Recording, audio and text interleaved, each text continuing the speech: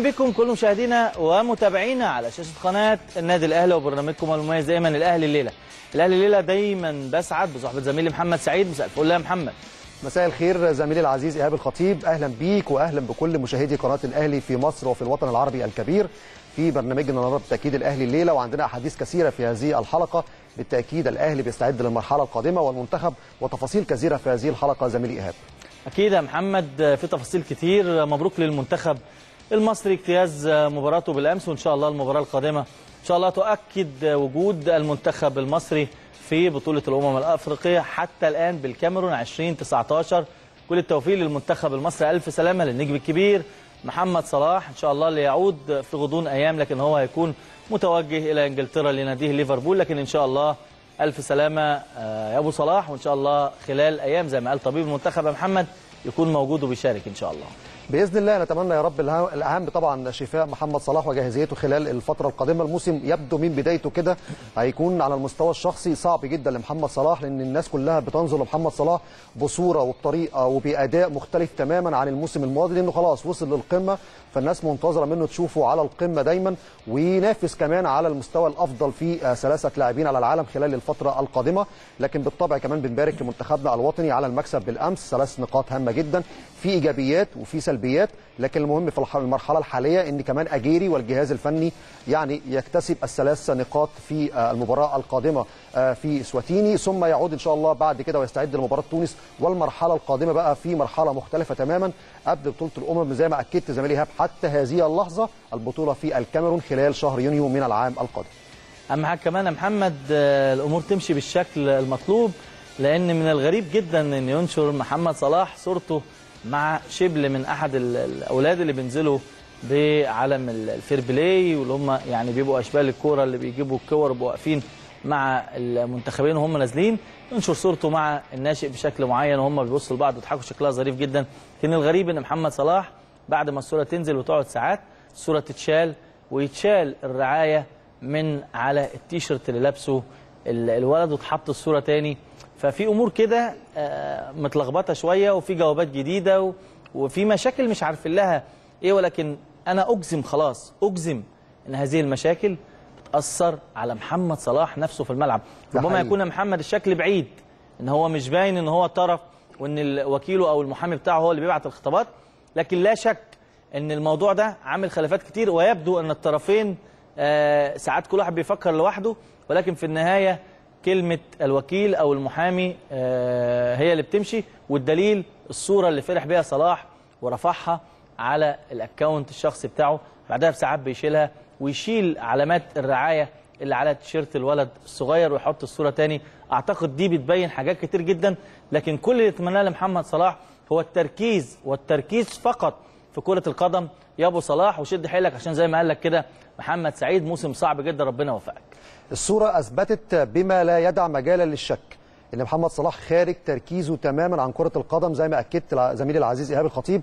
محمد صلاح يعني الصورة اللي نزلها أول مرة صورة بتعبر عن ما بداخله ومشاعره بالنسبة ليه كلاعب في المنتخب الوطني ومع لاعب صغير في السن أو ناشئ صغير في السن بينظر لقيمة واسم محمد صلاح وهو بالتأكيد في مكانته في مكان هذه الصورة لما كان لاعب صغير وناشئ في السن.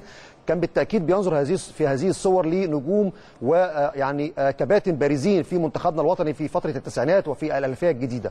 لكن محمد صلاح بهذا المشهد اللي حصل النهارده عبر صفحته الشخصية بيأكد فعلا أن وكيله أو مدير أعماله للأسف بيتدخل بشكل كبير جدا. مش هتكلم في الأمور التجارية أو التعاقدية الخاصة باللاعب لأن ده شغله كمحامي وكمدير أعمال للاعب.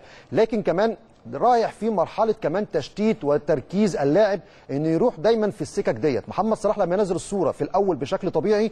ده بيدل على مشاعر لاعب فرحان بهذه الصورة ونزلها بشكل تلقائي. يعني مش للدرجة إن ممكن تحاسب عليها لاعب بالشكل ده. لكن إنك تغير في الصورة واضح إن التركيز للأسف رايح في مرحلة ثانية وفي سكة ثانية والموضوع بصراحة أنا حاسس إن هو أفور قوي وزاد عن حده لأن المسألة مش محتاجة كل الدوشة ديت لأن أنت في الآخر صورتك دي وأنت بتيشيرت المنتخب الوطني مش بتيشيرت نادي ليفربول أو صورة شخصية ليه.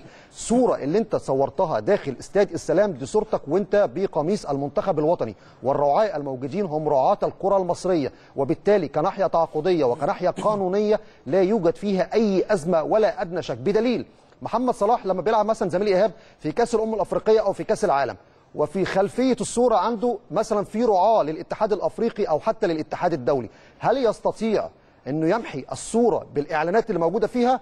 لا أعتقد. لا يستطيع مدير أعماله أن يجرؤ أن يتحدث مع صلاح ويطلب منه إزالة الإعلانات لأن بالتالي هتبقى مخالفة كبيرة جدا على اللاعب نتيجة مشاركته في مباريات رسمية أو دولية مع المنتخب الوطني. شوف إحنا مركزين في حتة واحدة يا محمد لكن الصورة فيها أكتر من بعد. أنا بس يعني حبيت آخد بعد بعد.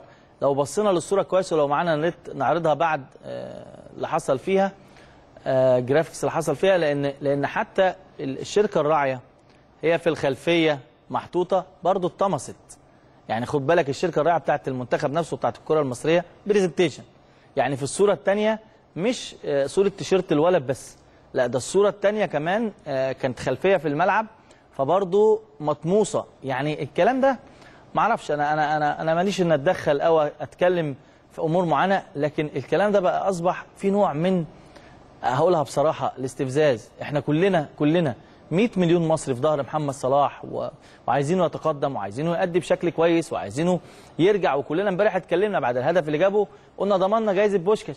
يعني ضمننا جائزه أفضل هدف يعني في العالم بتصويت لأنها جائزه تصويت جماهيري وقلنا إن شاء الله يعني من على سبيل ال- ال- الحماس وعلى سبيل الدعابة وعلى سبيل التشجيع لصلاح وقلنا الكلام ده. ولكن في بعض الأمور زي ما قال زميلي محمد سعيد تحتاج لوقفة تحتاج لوقفة. يعني أنا مش شايف ما عنديش مشكلة إنه يحط صورة ويشيلها ويلعب فيها مع إن الصورة ما يتلعبش فيها تماما. تماما الصورة أهي. يعني الصورة أهي. دي الأصلية. أشوف كل حاجة باينة أهي. هي بعيد عني شوية فزمايلي بيقولوا لي دي الأصلية دي الأصلية أهي. فكل حاجة باينة على التيشيرت بتاع الولد وفي الخلفية الشركة الراعية مكتوبة. لو حطيت لي بقى الصورة الثانية معرفش برضو أنت مجهزها ولا لأ. الصورة الثانية لو حطيتها هتلاقي بقى طبعا مختلفة خالص. التيشيرت مش هيكون عليه أي حاجة خالص بتاع الناشئ الصغير. وفي نفس الوقت آه، الخلفية الشركة الراعية يعني طمست خالص. لكن هو أحلى ما في الصورة هي الضحكة اللي موجودة ما بين صلاح وبين الناشئ. دي أحلى ما في الصورة. ودي الرسالة اللي, اللي, اللي كلنا فرحانين بيها واللي صلاح فرح بيها. وصلاح خدها كده على سجيته وطبيعتها وحطها على صفحته. فالنظام حلو. من البداية إذا كان في حاجة ما كانتش تحط الأول الصورة أو تتغير. مش عايز أتكلم في صورة كتير لكن عايز أقول لمحمد صلاح كلنا في ظهرك في أي وقت كلنا معاك. وادي الصورتين أهو اللي فوق الأصلية واللي تحت اللي يعني اللي اتغيرت واتحطت تاني. ناس تقول لي أنتوا مكبرين الموضوع أنتوا أنتوا أنتوا. بالعكس إحنا تكبير موضوعنا ده هو تركيز مع محمد صلاح عشان ربنا يكرمه. تركيز ان محمد صلاح يركز في الفنيات يركز في كرة القدم يركز في الضحكة الصافية دي الضحكة الجميلة دي. يعني بصوا أسعد دي أحلى لقطة في المباراة. أحلى لقطة في المباراة. أهي ناشئ صغير شايف المثل والقدوة. محمد صلاح مثل وقدوة. مش لطفل صغير ولا ناشئ ده ل 100 مليون مصري لكبير ولصغير في تحقيق ده أهداف وطموحات وحاجات كتير جدا. شوف بقى الابتسامة ده مبتسم وده مبتسم. ما حدش خد باله خالص خالص يا صلاح إن في رعاية وفي تيشيرت عليه رعاة وشركة كذا وشركة مفيش خالص. ما حدش خد باله إن في الخلفية في شركة برزنتيشن ما حدش خد باله خالص خالص خالص. إنما بعد ما أنت شلت الصورة وحطيتها تاني كله خد باله ولكن يعني نتمنى جميعا جميعا إن تركيزك أكتر يكون في المباريات. عندك منافسة صعبة جدا كلنا في ظهرك وكلنا بنقول لك ربنا يكرمك وربنا يوفقك واللي جاي ليك أحسن وجاي ليك أفضل بفضل ربنا وبدعاء كل الملايين اللي هتفضل وراك. أكيد في حقوق أنت بتحرص عليها لكن صعب جدا يجي جواب تاني للمنتخب المصري قبل المباراة مباشرة يتقال فيه بالنص. ما دمتم بعتوا تاني لصلاح إنه يجي ده معناه إنكم وافقتوا على طلباته. مش هعلق على الخطابات دي دلوقتي ولا هنكون طرف لكن في أمور كبيرة لازم تحسم من اتحاد الكرة. في حقوق 20 مرة و50 مرة و100 مرة هقولها تاني. إحنا ما اخترعناش العجلة. العجلة دي موجودة في كل الدنيا. يعني ما اخترعناش آه، صفة اللاعب مع منتخب بلاده وصفة اللاعب مع بلده. صلاح طالكم قبل كده 20 مرة. قلت لكم محمد صلاح ببدلته حاجة. بقميص ليفربول حاجة بتشيرت المنتخب حاجة. كل واحد له وله ما عليه. كريستيانو وميسي ونجوم العالم كلهم كلهم متقسمة القصة. هو إحنا ليه ما حدش عايز يطلع يقول يا جماعة الحقوق كذا واللي لينا كذا واللي علينا كذا. ونخلص القصة دي بدل ما كل شوية جواب رايح وجواب جاي. اتحاد الكورة المهندس هنا بريدة واقفة ومن أول السطر. كل واحد يعرف إيه اللي ليه وإيه اللي عليه يا محمد عشان نبدأ حلقتنا ونشوف عندنا إيه. محتاجين نبدأ حلقتنا بالتأكيد. تفاصيل مهمة لا تقل أهمية بالتأكيد عن مباريات المنتخب وموضوع محمد صلاح مع المنتخب والإصابة. نتمنى يا رب بإذن الله يكون سليم وجاهز للفترة القادمة. ويمكن برضو زميلي إيهاب قبل ما انتقل لفقرات الحلقة في سؤال صغير كده بعد هذه الصورة النهارده الكل على ال social media ابتدى يطرح أسئلة. محمد صلاح أصيب وبالتالي استبعد من المباراة القادمة وسيتوجه في الساعات القادمة إلى إنجلترا والاستعداد للمرحلة القادمة. طيب ماذا لو شارك في مباراة منتصف هذا الأسبوع مع ليفربول أمام هيدرسفيلد في الدوري الإنجليزي؟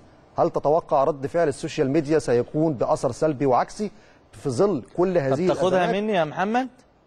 هيدرسفيلد في الدوري الإنجليزي. هتاخدها مني؟ هيشارك.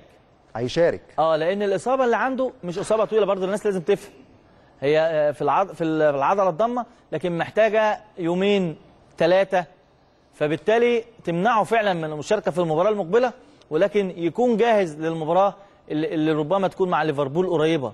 فدي ما فيهاش يعني دي ما فيهاش. البعض بقى بيتكلم بشكل كبير جدا. حاشا لله أن نتحدث على محمد صلاح محمد صلاح وحط تحتيه اسمه مليون خط.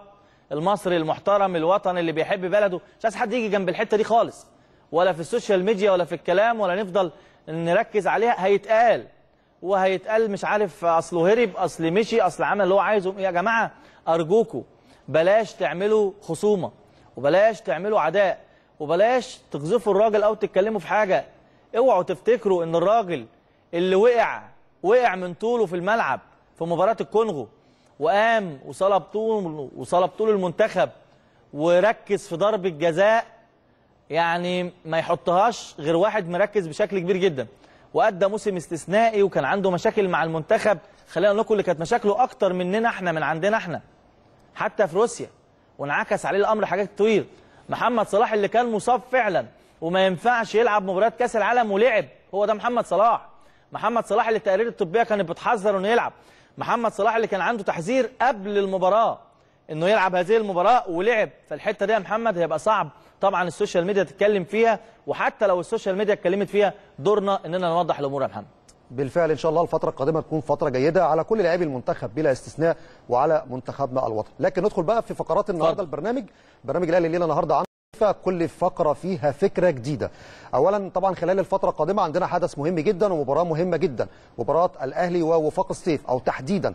مباراة وفاق سطيف الجزائري أمام النادي الأهلي في إياب الدور نصف النهائي لدوري أبطال إفريقيا. مباراة هامة جدا بالتأكيد في الفقرة الأولى هيكون ضيفنا النهارده ضيف استثنائي الكابتن حسين شكري. أحد نجوم النادي الأهلي السابقين واللي بالتأكيد ابتعد لفترات طويلة جدا عن الظهور الإعلامي. هنا طبعا في قناة النادي الأهلي هيكون ضيفنا النهارده يتكلم عن هذه المباراة وكيف يستعد الأهلي لهذه المباراة. وقبل بداية هذه الفقرة الحوارية هيكون في تليفون مهم جدا مع آه، تدريب فريق النادي الأهلي في ملعب التتش. هيكون معاك بالتأكيد زميلي إيهاب الخطيب سواء المكالمة التليفونية أو حتى الفقرة الحوارية الأولى. ثم الفقرة الحوارية الثانية فيها آه، تفاصيل جديدة فيها فكرة مختلفة. عندنا لاعبة حققت إنجاز جيد جدا. أنا بسميها بنت مصرية على طريق العالمية. ريم أشرف. عملت رقم قياسي. يمكن موسوعة جينيس العالمية حتى هذه اللحظة رفضت الاعتراف بهذا الرقم القياسي لظروف هنعرفها في الفقرة الحوارية الثانية.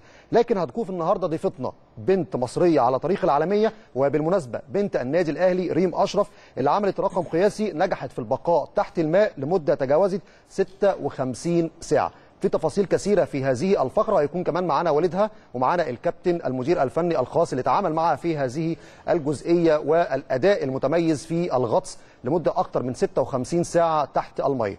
الفقرة الحوارية الثالثة بالتأكيد النهارده يوم السبت هيكون معانا الكابتن خالد العوضي وعنده تفاصيل كثيرة النهارده بيستضيف بالتأكيد آه، فريق الاسكواش في النادي الأهلي عدد من اللاعبين والكابتن ناصر زهران المدير الفني. لكن بالتأكيد أرجع لك بسرعة زميلي إيهاب الخطيب لبداية هذا ال intro وتليفون مهم جدا من ملعب التتش عشان نطمن على للفتره القادمة ومباراة وفاق سطيف. أشكرك زميلي محمد. أكيد حلقة مليانة النهارده بالضيوف الكبار. خلينا نروح سريعا لمقر النادي الأهلي وتحديدا ملعب مختار التتش. وزميلنا أحمد كوان علشان يطمنا على تدريب الفريق. مساء الخير يا كوان. مساء الخير عليك أستاذ ألو؟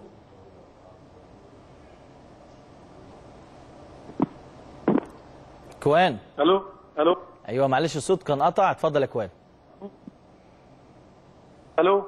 كوان سامعني كده؟ تمام. أنا سامع حضرتك. مساء الخير. كوان يا ريت يا جماعة نقفل ون... ونجيب كوان تاني. الصوت مش واضح لكن آه، أحمد كوان آه، مراسلنا. موجود وموجود آه، في آه، التدريب اللي لسه خلصان بقاله تقريبا يعني داخلين على ساعة. خلينا أقول لكم خبر حلو بقى قبل ما كوان يقول واشوفوا عنده ولا لأ. حسام عاشور أصبح جاهزا تماما للمشاركة إن شاء الله في مباراة. وفاق سطيف لا تكون يوم 23 عدد من الإصابات هيكون موجود الفترة اللي جاية. الفترة اللي فاتت كان في عدد من الإصابات الكبيرة جدا والفترة اللي جاية هتكون أفضل إن شاء الله. النادي الأهلي ولاعيبه النادي الأهلي كان عندهم اختبارات صعبة جدا بعض ما كانش عاجبه الأداء أمام الاتحاد رغم الظروف ورغم الغيابات. كذلك أمام الترسانة في الكاس لأن دايما كل بيقول لك هو الأهلي هو الأهلي. 11 لعيب لابسين التيشيرت الأحمر هم دول الأهلي. نرجع مرة تاني لزميلنا أحمد كوان. مساء الفل يا أبو حميد. مساء الخير عليكم أستاذ إيهاب. مساء السعاده على زميلي محمد سعيد. ودايما انيقه أستاذ إيهاب تحياتي ليك يا كوان وطبعا تحيات زميلي محمد. سعيد. آه، خليني أقول لك تمرينة مهمة جدا الأهلي آه، بيجهز لمباراة مهمة نصف نهائي أفريقيا مباراة وفاق سطيف في الإصابات. طمنا يا كوان. أكيد انتهى مران فريق النادي الأهلي اليوم وأحمد عنوان مفتوح وتركيز كما ذكرت ايهاب في إطار استعداده لإياب نصف نهائي دوري أبطال آه، أفريقيا أمام وفاق الصيف الجزائري. في مباراه يمكن النادي الأهلي اضع فيها شوط كبير للوصول إلى منصات التتويج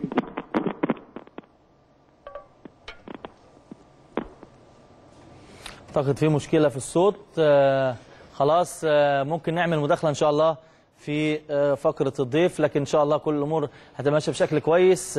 بعد الفاصل هيكون معانا الكابتن حسين. شكرا هنتكلم في أمور كتيرة جدا. وبرضه هنطمنكم على أخبار الفريق.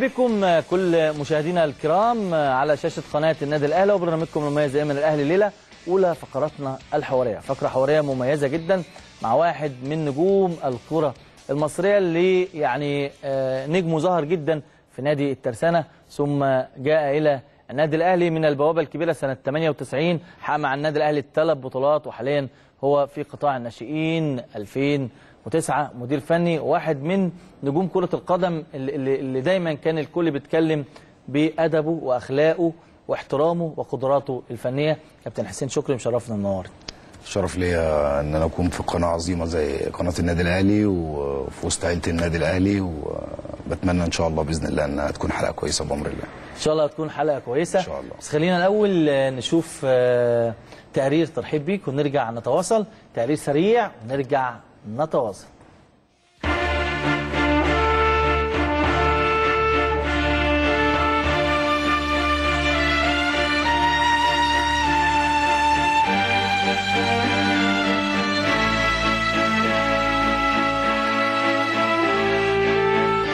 حسين شكري هو أحد الأسماء التي يتذكرها جمهور النادي الأهلي جيدا. بعدما نال شرف ارتداء الفانيلة الحمراء في عهد الألماني راينر سوبل انضم حسين شكري للنادي الأهلي موسم 99-98 قضى بين جدران القلعة الحمراء ثلاثة مواسم يرى أنها من أفضل لحظات حياته التاريخية. حقق خلال هذه المواسم ثلاث بطولات.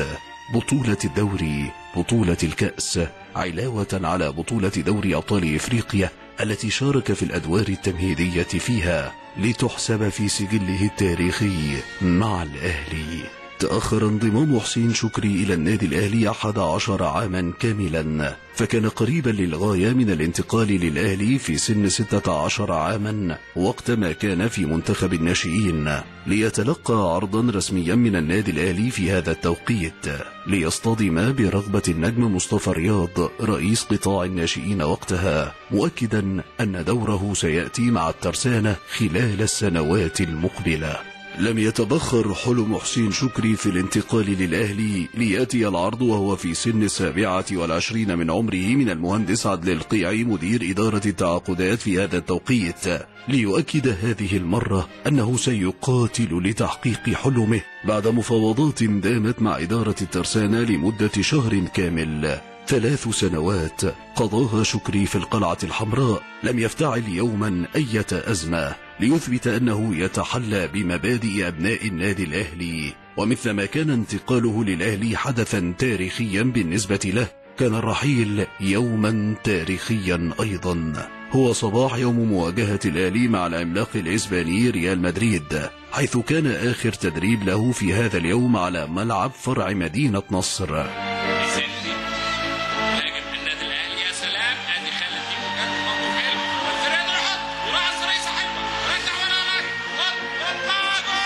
ليعود مجددا إلى الترسانة وليعتزل في صفوفه لتبدأ رحلته في عالم التدريب ما بين فرق الناشئين والفريق الأول للترسانة. اليوم هو المدير الفني لفريق براعم النادي الأهلي مواليد 2009 حسين شكري ضيفا على قناة النادي الأهلي اليوم للمرة الأولى في برنامج الأهلي الليلة.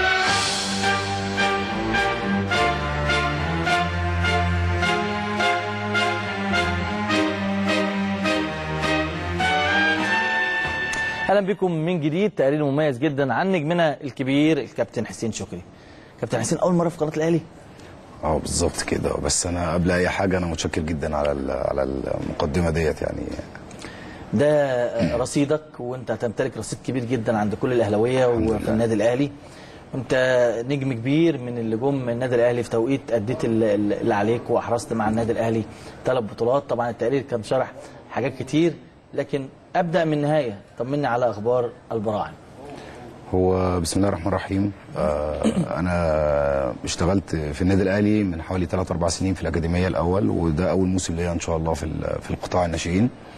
آه طبعا القطاع إحنا عارفين إن النادي الأهلي طول عمره يعني ال ال الولاد اللي بيبقوا موجودين فيه أو ولاده بيبقوا مميزين جدا في حتة المهارة وال فحضرتك عارف طبعا إن مجلس إدارة وكابتن فتحي مبروك والناس المسؤولين كلهم إن هم بي السنة دي تقريبا بيحاولوا على قد ما يقدروا إن إحنا إن التصعيد لل- للفريق الأول يبقى من ولاد النادي فبنحاول إن شاء الله بإذن الله إحنا معانا مجموعة مدربين مميزين ومعانا كابتن فتحي مبروك طبعا بالتعليمات وتوجيهاته إن القطاع إن شاء الله بإذن الله يبقى أكبر عدد من اللعيبة اللي هي هتبقى موجودة إن شاء الله في الفريق الأول آه، من قطاع من الناشئين. أولاد القطاع. فأنا شغال في البراعم ماسك آه، 2009 معايا أولاد ما شاء الله الحمد لله رب العالمين كويسين مميزين. آه، ناس تبشر بالخير يعني إن شاء الله بإذن الله. كعاده النادي الأهلي بأمر الله فيهم مواهب كتيرة كويسة إن شاء الله بأمر الله. في أسماء ممكن نقولها آه، نفتكرها معلش إحنا أنا فاهم أنا فاهم آه، ولا ولا في السن ده العموم سواء آه. في العموم آه آه لأن السن ده أنت عارف بيبقوا حساسين قوي بس هو فعلا في يعني عدد كبير جدا لو لو ذكرت يعني عشان مش ما انساش حد تعرف إن السن بالظبط. بيبقى محتاج آه يعني يعني نفسياً أكتر. آه بالظبط كده فهو بيحتاج معاملة خاصة لأنك أنت برضو بتبقى يعني أب أكتر من إن أنت تكون مثلا مدرب يعني العلاقة بينك وبين الولاد لازم تبقى الأول كويسة عشان الولد يتقبل منك أي حاجة بعد كده اهوت في السن الصغير دوت فاعذرني معلش بالعكس. هم ما شاء الله يعني ولاد لكن مبشرين هيبقوا إن شاء بإذن الله. الله إن شاء الله بإذن الله هيبقى فيهم ناس كتيرة كويسة إن شاء الله تنفع النادي الأهلي كابتن حسين أرجع لنقطة البداية ومفاوضات علشان تيجي النادي الأهلي انتهت بالتوفيق موسم 98 99 المفاوضات دي بدأت إزاي؟ هو كان آه، في التوقيت دوت كان آه، الباشمهندس عادل القيعي هو اللي كان آه، متولي الموضوع بتاع التعاقدات دوت. فناس كتير ما تعرفش إن أنا اللي كان ترشيحي من الكابتن صالح الله يرحمه رحمة الله عليه. آه، ترشيحك كان من الكابتن من الكابتن؟ صالح. آه. آه كنا بنلعب كنا إحنا أيامها تقريبا في الدوري الممتاز أو درجة تانية حاجة زي كده وكنا لعبنا ماتش ودي مع النادي الأهلي كان في رمضان أنا فاكره في رمضان. وعملنا يعني زي ما بنقول ماتش كويس جدا. لأن إحنا المجموعة بتاعتنا اللي كانت طالعة يعني أسماء كتيرة جدا علي ماهر ومؤمن عبد الغفار ووالي السمري وائل كندي مدحت الحوفي. كان كان في في نادي ترسانة كان في مجموعة آه. مجموعة كويسة يعني. فعملنا ماتش كويس مع مع النادي الأهلي. قبلها بعدها بعدها صعدنا الدوري الممتاز عملت حوالي سنتين أو ثلاث سنين كويسين. وكان ربنا موفقني دايما في المباريات بتاعة النادي الأهلي إن أنا كنت ببقى موفق فيها. ده انت من أيام الناشئين انت وانت 16 سنة الأهلي برضه كان بالظبط عايز. بالظبط بالظبط. كان آه، كانوا عايزيني بعد منتخب ناشئين آه، 16 سنة مع كابتن سيد طباخ فما حصلش نصيب. ف بالإصرار طبعا وال- والكفاح إن أنت بتحاول إن أنت تأدي ما عليك. وأنا يعني من من, من الناس اللي هو يعني زي ما بيقولوا ما بيعرفش حاجة غير الكورة يعني ما شغلي الشاغل كله كرة القدم. فمهتم الحمد لله رب العالمين من أيام ما كنت بلعب.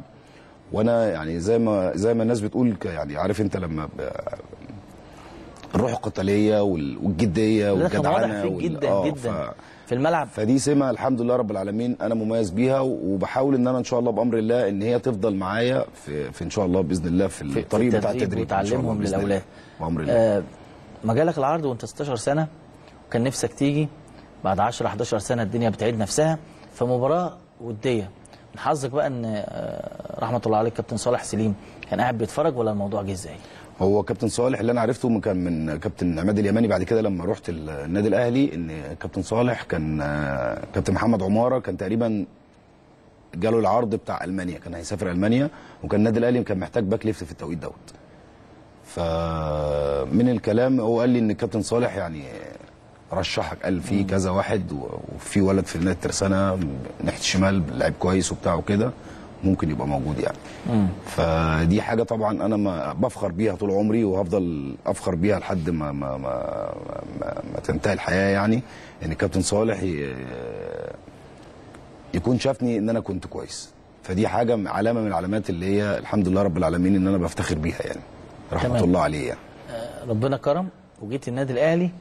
شكل المفاوضات كانت ماشية يعني ربنا مبارك كده المفاوضات مشت على طول آه. ما كانش فيها أي تعثر. الحمد لله. جيت بقى على جيل. آه. جيلك اللي جيت عليه وتستقبلك في النادي الأهلي إزاي؟ بص أنت لما بتخش النادي الأهلي أول أول ما بتخش النادي الأهلي أنت أنت خلاص بقيت واحد من يعني كأنك عايش عمرك كله جوه النادي. الاستقبال طبعا كان كابتن وليد صلاح الدين كابتن حسام حسن وإبراهيم. الناس دول كانوا ال- الناس الأقدم في في الفريق. وكان يعني إحنا كان في صداقة بينا قبلها فما كان ما كانش الواحد حاسس بغربة شوية في في الفرقة. بس آه، لما بتخش النادي الأهلي معلش في الحتة بقى مش مش في التعامل في الحتة بتاعة اللعب. النادي الأهلي برضو مهما كان في أسلوب معين في حاجات معينة بيحتاجها المدرب أو بيلعب بسيستم معين. أنا في الفترة الأولانية ما ما ما استوعبتش ال- ال- ال- القصة. يعني السنة الأولانية ديت بالظبط. السنة الأولانية كانت بالنسبة لي لأن أنا ما لعبتش كمان في مكاني. يعني لعبت أنا معظم لعبي لعبت في كل يمكن كل أماكن الملعب إلا ال third back فلما رحت هناك لعبت third back فكان كابتن آه، راينر تسوبيل بيلعب بطريقة إحنا كنا بنلعب زمان كنا بنلعب واحد و- ليبرو واثنين مساكين. بصراحة لما رحت هناك كان ال ال ال ال الثلاث كنا بنلعب برضو ثلاث سردباكات بس كانت flat. يعني الثلاثه على خط على واحد. خط واحد. لما بيجي الفرودين في جزء بيبقوا دول المساكين وده الليبرو. يعني الليبرو متحرك مع تمام. ال ال ال مكان الكورة وال- والفراودة. فعلى ما استوعبت دي خدت مني معلش هو مش فترة. مركزك. آه بالظبط كده. خدت مني يمكن نص السنة الأولانية على ما أحفظ المكان والوقفة إزاي والضغط. والكلام ده كله والتعليمات. خدت مني فترة. آه بعد بعد كده الحمد لله ربنا كرمني. يعني مشيت مشيت بشكل كويس الحمد لله رب العالمين وسط الفرقة. ومن مش عايز أقول من من آه من سوء حظي إن النادي الأهلي ساعتها في التوقيت دوت كان واخد ست آه، سنين متتالية بطولة الدوري العام. فكان يعني مشي آه، السنة اللي أنا رحت فيها اعتزل كابتن شوبير كابتن رضا عبد العال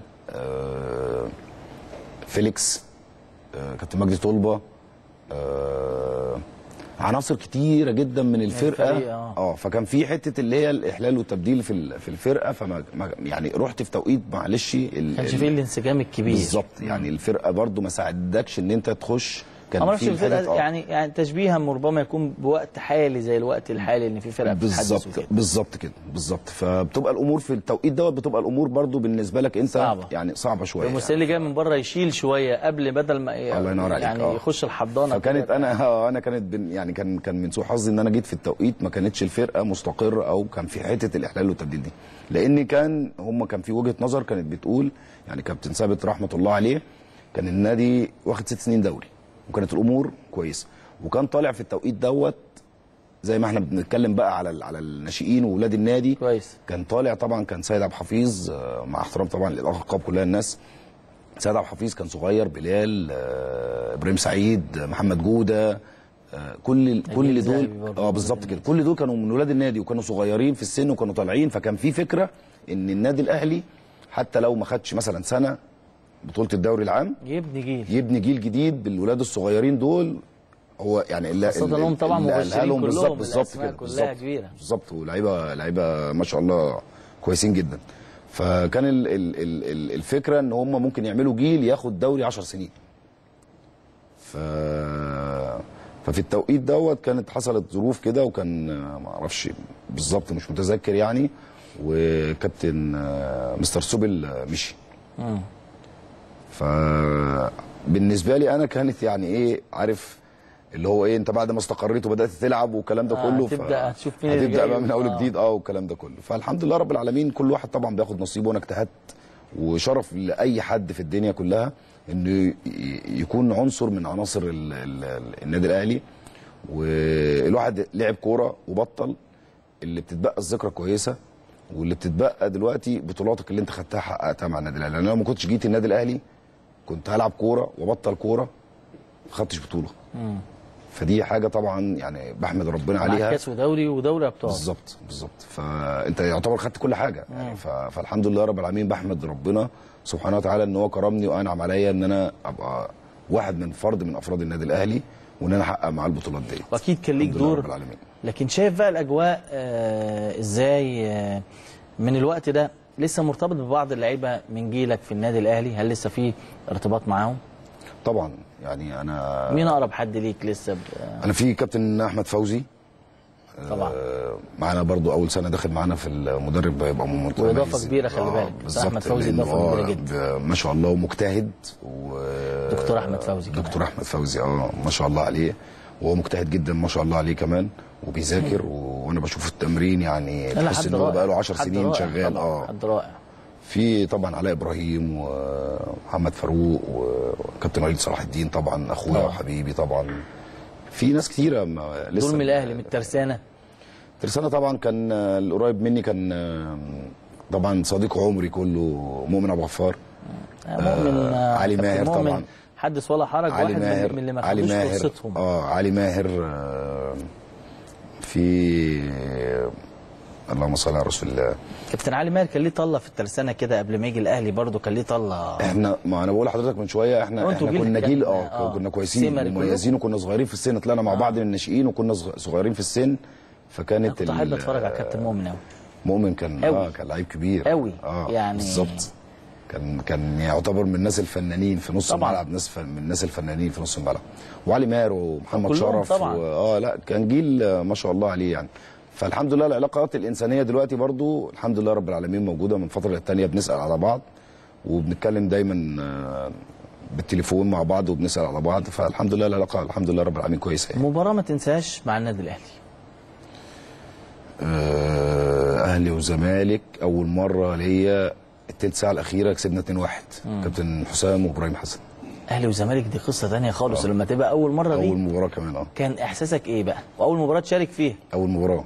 كان أول إيه؟ سنة ليا النادي الأهلي وكنت احتياطي ونزلت آخر تلت ساعة آه، مكان كابتن سيد ابو حفيظ فدي كانت بالنسبة لي الأمور آه، عارف أنت لقاءات القمة وبتسمع عنها من قبل كده والكلام ده كله فاه ف طبعا. فوانت إحساس بقى وأنت في الملعب. في ماتشات أهلي وزمالك وطبعا كان وليد وليد صديق عمري حبيبي يعني كان كان قبل الماتش بقى يقول لك ماتش الزمالك جاي يخش على المساحات. فإن بيبقى في مساحات كبيرة طبعا في الملعب طبعا. والكلام ده كله. فكان التركيز كمان ال- ال- الفترة اللي هي الأسبوع ولا 10 أيام اللي بيبقوا قبل مباراة الزمالك بالذات دي بتحس إن في حالة جميلة روح جميلة تركيز 100% من كل اللعيبة من كل العناصر. فدي عمري ما هنساها لأن الحمد لله رب العالمين كمان إن بداية كانت إن خير. بداية كانت خير وأنا كنت موفق في في الفترة اللي أنا لعبتها كنت موفق الحمد لله كنت كويس جدا. رغم إنك نازل زي ما بيقولوا كده في أصعب أوقات المباراة. بالظبط. فالحمد لله رب العالمين كان ربنا موفقني وكان تركيزي عالي جدا إن أنا أنت عارف مباراة الأهلي والزمالك ديت ممكن تصنع نجم. طبعا. فالحمد لله رب العالمين إن أنا إن أنا في في الفترة اللي أنا لعبتها قدرنا نحافظ على على الشكل وعلى النتيجة وإن أنا أديت بشكل كويس الحمد لله رب العالمين. فدي عمري ما انساها ابدا يعني. دي طبعا مباراة ما تتنسيش. آه، اختلفنا اتفقنا الأيام بتجري الكرة بتتغير. طبعا. الدوري الآن بقى ليه حسابات. شايف المسابقة إزاي؟ الأمور دلوقتي اختلفت عن الأول بكتير. يعني دلوقتي معلش ال ال زي ما بنقول المواهب قلت. ليه كله بيجمع إن المواهب قلت. هقول لحضرتك. الاعداد زادت. هقول لحضرتك. التكنولوجيا زادت. ما هقول لحضرتك. حاجة. التكنولوجيا ليها سبب وال وال وال والفكر التدريبي بقى ليه شكل لأن دخل عنصر القوة والسرعة في الكورة فبدأت الناس تبص للعنصر القوة والسرعة والجزء الخططي أكتر من الجزء المهاري. فلازم نرجع تاني من أول وجديد زي ما بقول لحضرتك برضو الخطة بتاعت النادي الأهلي وكابتن فتحي ومجلس إدارة والكلام ده كله إن إحنا بتدور على الموهبة دلوقتي. أساس ممكن الاساس أجيب الموهبة وأبني عليها بقى اللي أنا عايزه بقى. إديها. قوة إديها أنت سرعة. ممكن تجيب القوة. مظبوط. وممكن تجيب الخططي وممكن تجيب كل حاجة. السرعة بتبقى صعبة شوية لانها السرعة دي آه، موهبة يعني. إنما إنما في الأصل هي الكورة. الأصل أنت لعيب كورة. الأصل الموهبة. الأصل المهارة. يعني لعيب موهوب مش مصنوع. بالظبط كده. فالأصل أنت دور على المهارة الأول وبعد كده ممكن تبني كل حاجة تانية. انما دلوقتي في ناس كتيرة بتيجي تقول لك إيه لا أنا آخد ولد قوي جسمانيا بيروح بيجري بيضغط بيعمل الكلام ده كله ممكن يكسبني. يبقى العنصر البدني مثلا غالب عليه في ال... عن عن فارق عن سن الولاد اللي هم اللي موجودين فبيكسبوا. ف... بس بعد كده إيه؟ ما هي القصة مش في كده. القصة إن أنت خدت عنصر بدني لولد سواء بقى مسنن مش هنخش في التفاصيل. المسنن مزور أي الكلام ده كله خدت واحد بالقوة البدنية عشان يكسبك. وفي نفس الوقت انت ابخذت حق ولد موهوب. المفروض تبقى العملية العكس. المفروض في قطاع الناشئين كمان ال- المو... يعني بتبقى حقيقي مش ما بتتقالش كلام. النتيجة أنا ماليش دعوة بالنتيجة. أنا ابص للمدرب أنت وصلت المجموعة اللي معاك أو الفرقة اللي معاك وصلتها بشكل إيه؟ و... و... والناس دي زادت معاك ولا لأ؟ اللعيبة ديت بتتطور معاك ولا لأ؟ نتائج اتعملت في قطاعات الناشئين بلاعبين مسننين وظلموا لعيبة كتير ما هي دي. كارثة دي كارثة و... دي كارثة. وقضت على اجيال وفي الآخر. المحصلة كانت صفر. بالظبط. ما هو عشان كده بقول لحضرتك إيه كل مدرب في مدربين كتيرة بتخاف إنها آه، تتغلب فهيمشيني. أو أو أنا هبقى آه. مدرب وحش. هي القصة مش كده. هيستعين باثنين ثلاثة بالظبط. بغض النظر لأ. دلوقتي القطاعات فيها الحاجات دي؟ في ناس فكرها كده. يعني في ناس لا اقصد لسه. قصة التسنين اللي قالوا قضينا عليها والكشف والقصة هتفضل موجودة طول الوقت. تفضل موجودة. لأن طب أساليبها ليه كتيرة. ليه, ليه في 2018 لسه دلوقتي بناخد شهادة مسننة؟ ليه ما بنعتمدش على شهادة ميلاد؟ يعني ليه حتى الآن بنقبل بالتسنين؟ ده سؤال يعني يعني يعني ليه؟ بص أقول لحضرتك حاجة أصل هي قصة. أصل لك الأرياف ما كانوش بيسننوا أصل إيه ما كانوش ما عندهمش يعني ملهاش دعوة. هي ممكن بقى يعني أنا أنا بشوف إن ال- المنطقة نفسها اللي مسؤولة عن المسابقة أو الحكم اللي موجود أو المراقب اللي موجود في في المسابقات سواء بتاعة البراعم أو الناشئين. لو أنا شفت ولد ال ال ال العنصر البدني فارق حتى لو سنه. آه. هي ممكن تبقى ظلم للولد كويس. نفسه بس معلش حتى لو سنه أعمل فيه إيه بقى؟ أخده أصعده للفرقة الأكبر. لا ما ده مش يعني لو حد عنده ما talent هقول لحضرتك حاجة. وموهبه ما أنا هقول لحضرتك حاجة. كويس هيلفت النظر أقول له لا أنت أنا مش بتكلم. على موهبة لا أنا ما بتكلمش لا على لا موهبة كابتن ما هو أنا فاهم أنا قصدك بتكلم في ولاد ما هو يبقى باين ما هو ساعتها هنقول عليه موهبة يعني المسنن ده حتى لو بيجري وجامد هنقول ده لا موهوب ده أنا ده أنا ده أنا ده أنا خرجت بره المسنن ده أنا آه. ده أنا ده أنا بقول لك حاجة تانية آه ده ده ده ولدين السن واحد كويس. وهم سلام ومش كويس. مسننين كويس. بس ولد يعني ال- القوة البدنية بتاعته أعلى أنا ممكن آخده يلعب في ال في ال طب ما أوريدي ده بيتعمل في قطاعات الناشئين لما بتلاقي أنت عندك موهبة يعني وناس كتير جدا. فلو فاكر بركات كان بيلعب في السكة فين وفين؟ في الترسانة كان في لعيب اسمه بهلول. بهلول عبد المنعم آه. كويس كان بيلعب فين وفين بهلول. أصل لعبت قطاعات ناشئين فأنا.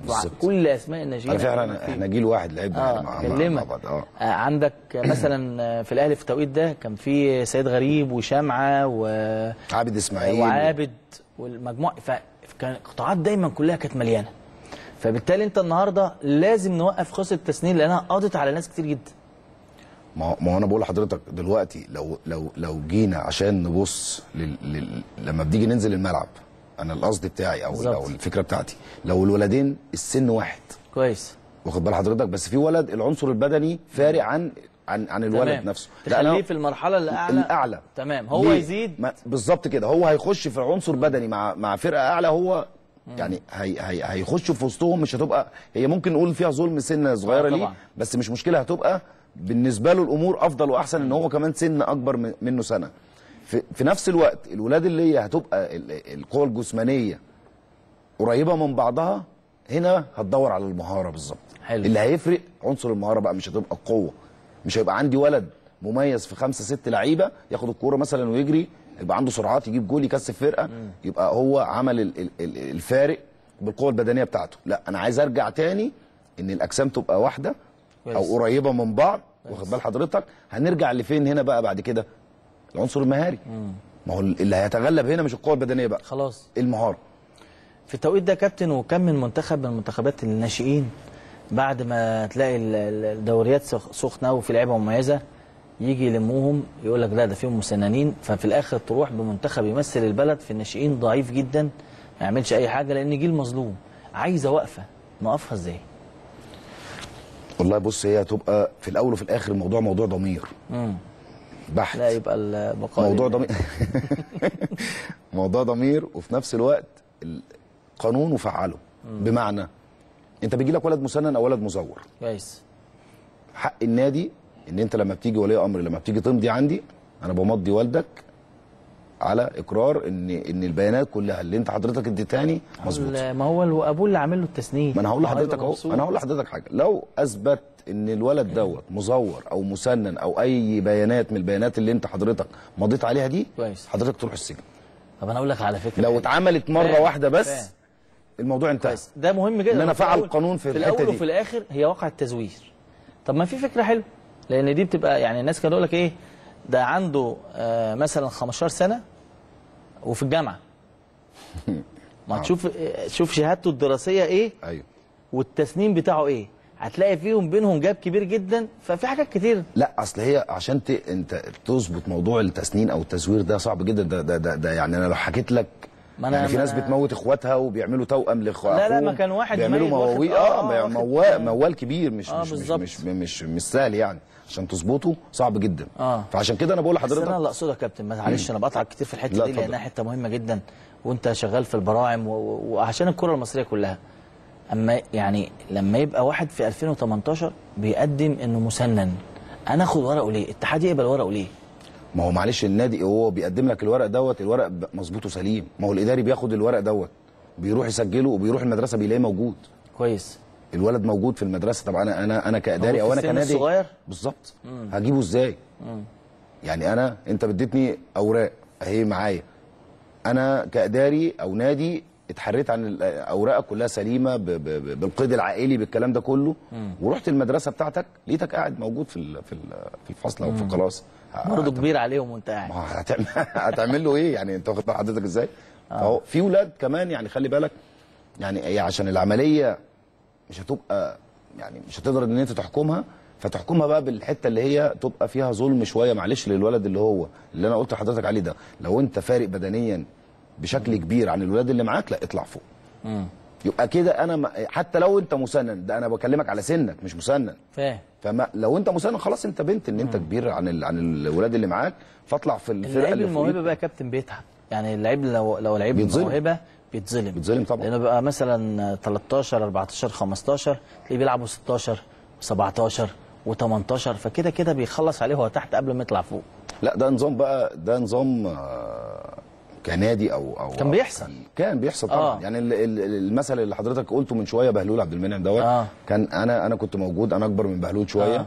كان بيلعب الساعة 10 الصبح والساعة 1 والساعة 3 أنا كنت بشوف بركات شفت كان كده في السجن. أنا شفت أنا شفت والله آه. بعيني وأنا في الناشئين بهلول ده لعب مرة الصبح وكابتن مصطفى رياض كان كان زمان بيلعب بنلعب 10 الصبح وواحدة آه. وثلاثه ناشئين خلص ماتش وجابه طبعاً. على ال على ال على ال على الدكة نيمه وجايب له برتقان جنبه آه. وبيدوا له برتقان ومنيمه على ظهره عشان هيلعب ماتش بعديه. آه.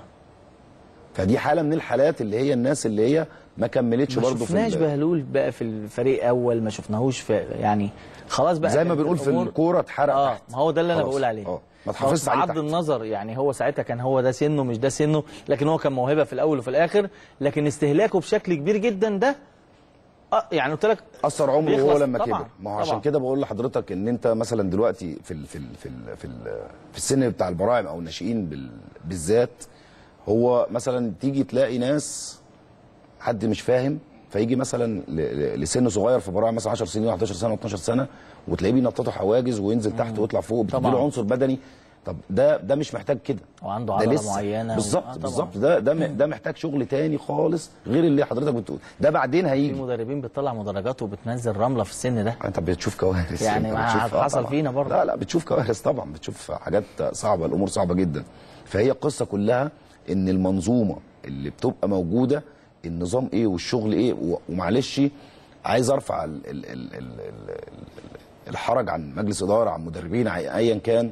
يا جماعة ما حدش يبص لمدرب بنتائجه في ال- خاصة في ال في ال في ال في, ال في الناشئين والبراعم يعني لو كل فرقة طلعت لاعبين ثلاثة بالظبط كده. لا أنا لما أجي أقيم مدرب أنا بقى كمشرف أو أو أو ايا كان لما أجي أقيم مدرب أنت خدت الفرقة دي حالتها عاملة إزاي؟ ووصلتها لفين؟ هيقول لك بالنتائج برضه. لا ما هو أنا ما هو إحنا عايزين نلغي الحتة دي. آه. ليه؟ لأن ما أنا هقول لحضرتك حاجة. أنا على فكرة فاهم وجهة نظرك وعجباني جدا. آه لو لو إحنا خدنا حتة النتائج ديت النتائج مش مقياس.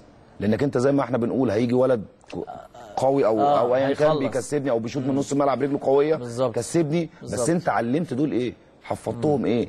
وصلتهم لإيه؟ علمتهم كام مهارة؟ ع- علمته وهو بيلعب كورة لازم الولد يفكر ما يلعبش كورة وبس. لازم الولد أي حد بيلعب كورة. تفرح لما اللعيب اللي عندك الصغير بياخد قرار من نفسه بالظبط. حتى لو عكس تعليماتك لكن بيروح بواحدة أنا اللي بقول يعني. له. آه. أنا اللي بقول له أنا اللي بقول له. قرار. أنا بقول له أنا بقول لك كده. في الحتة دي مثلا غير اتجاهك. وفي الأول وفي الآخر أنت صاحب قرار. يعني أنت بتغير اتجاهك عشان هتلعب مثلا في مكان تاني. رحت المكان التاني ده لقيت زميلك آه، ممسوك أو أو أو مش موجود أو أو مش هعرف ألعب الباص اللي أنا قلت عليه.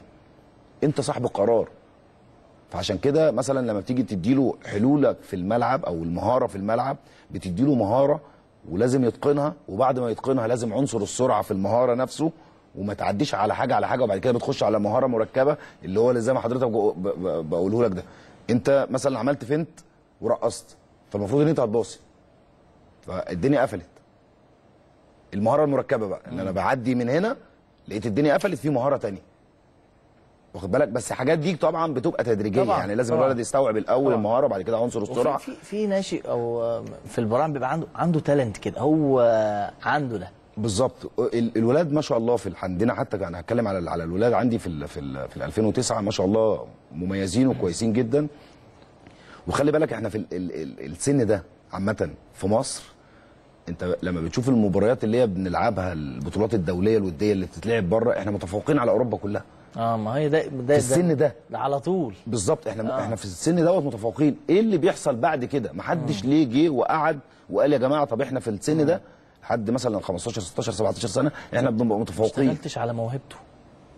لا في ح... في مشكلة في مشكلة إحنا ممكن نتكلم فيها بس آه. هي في مشكلة بعد السن ده إيه اللي بيحصل؟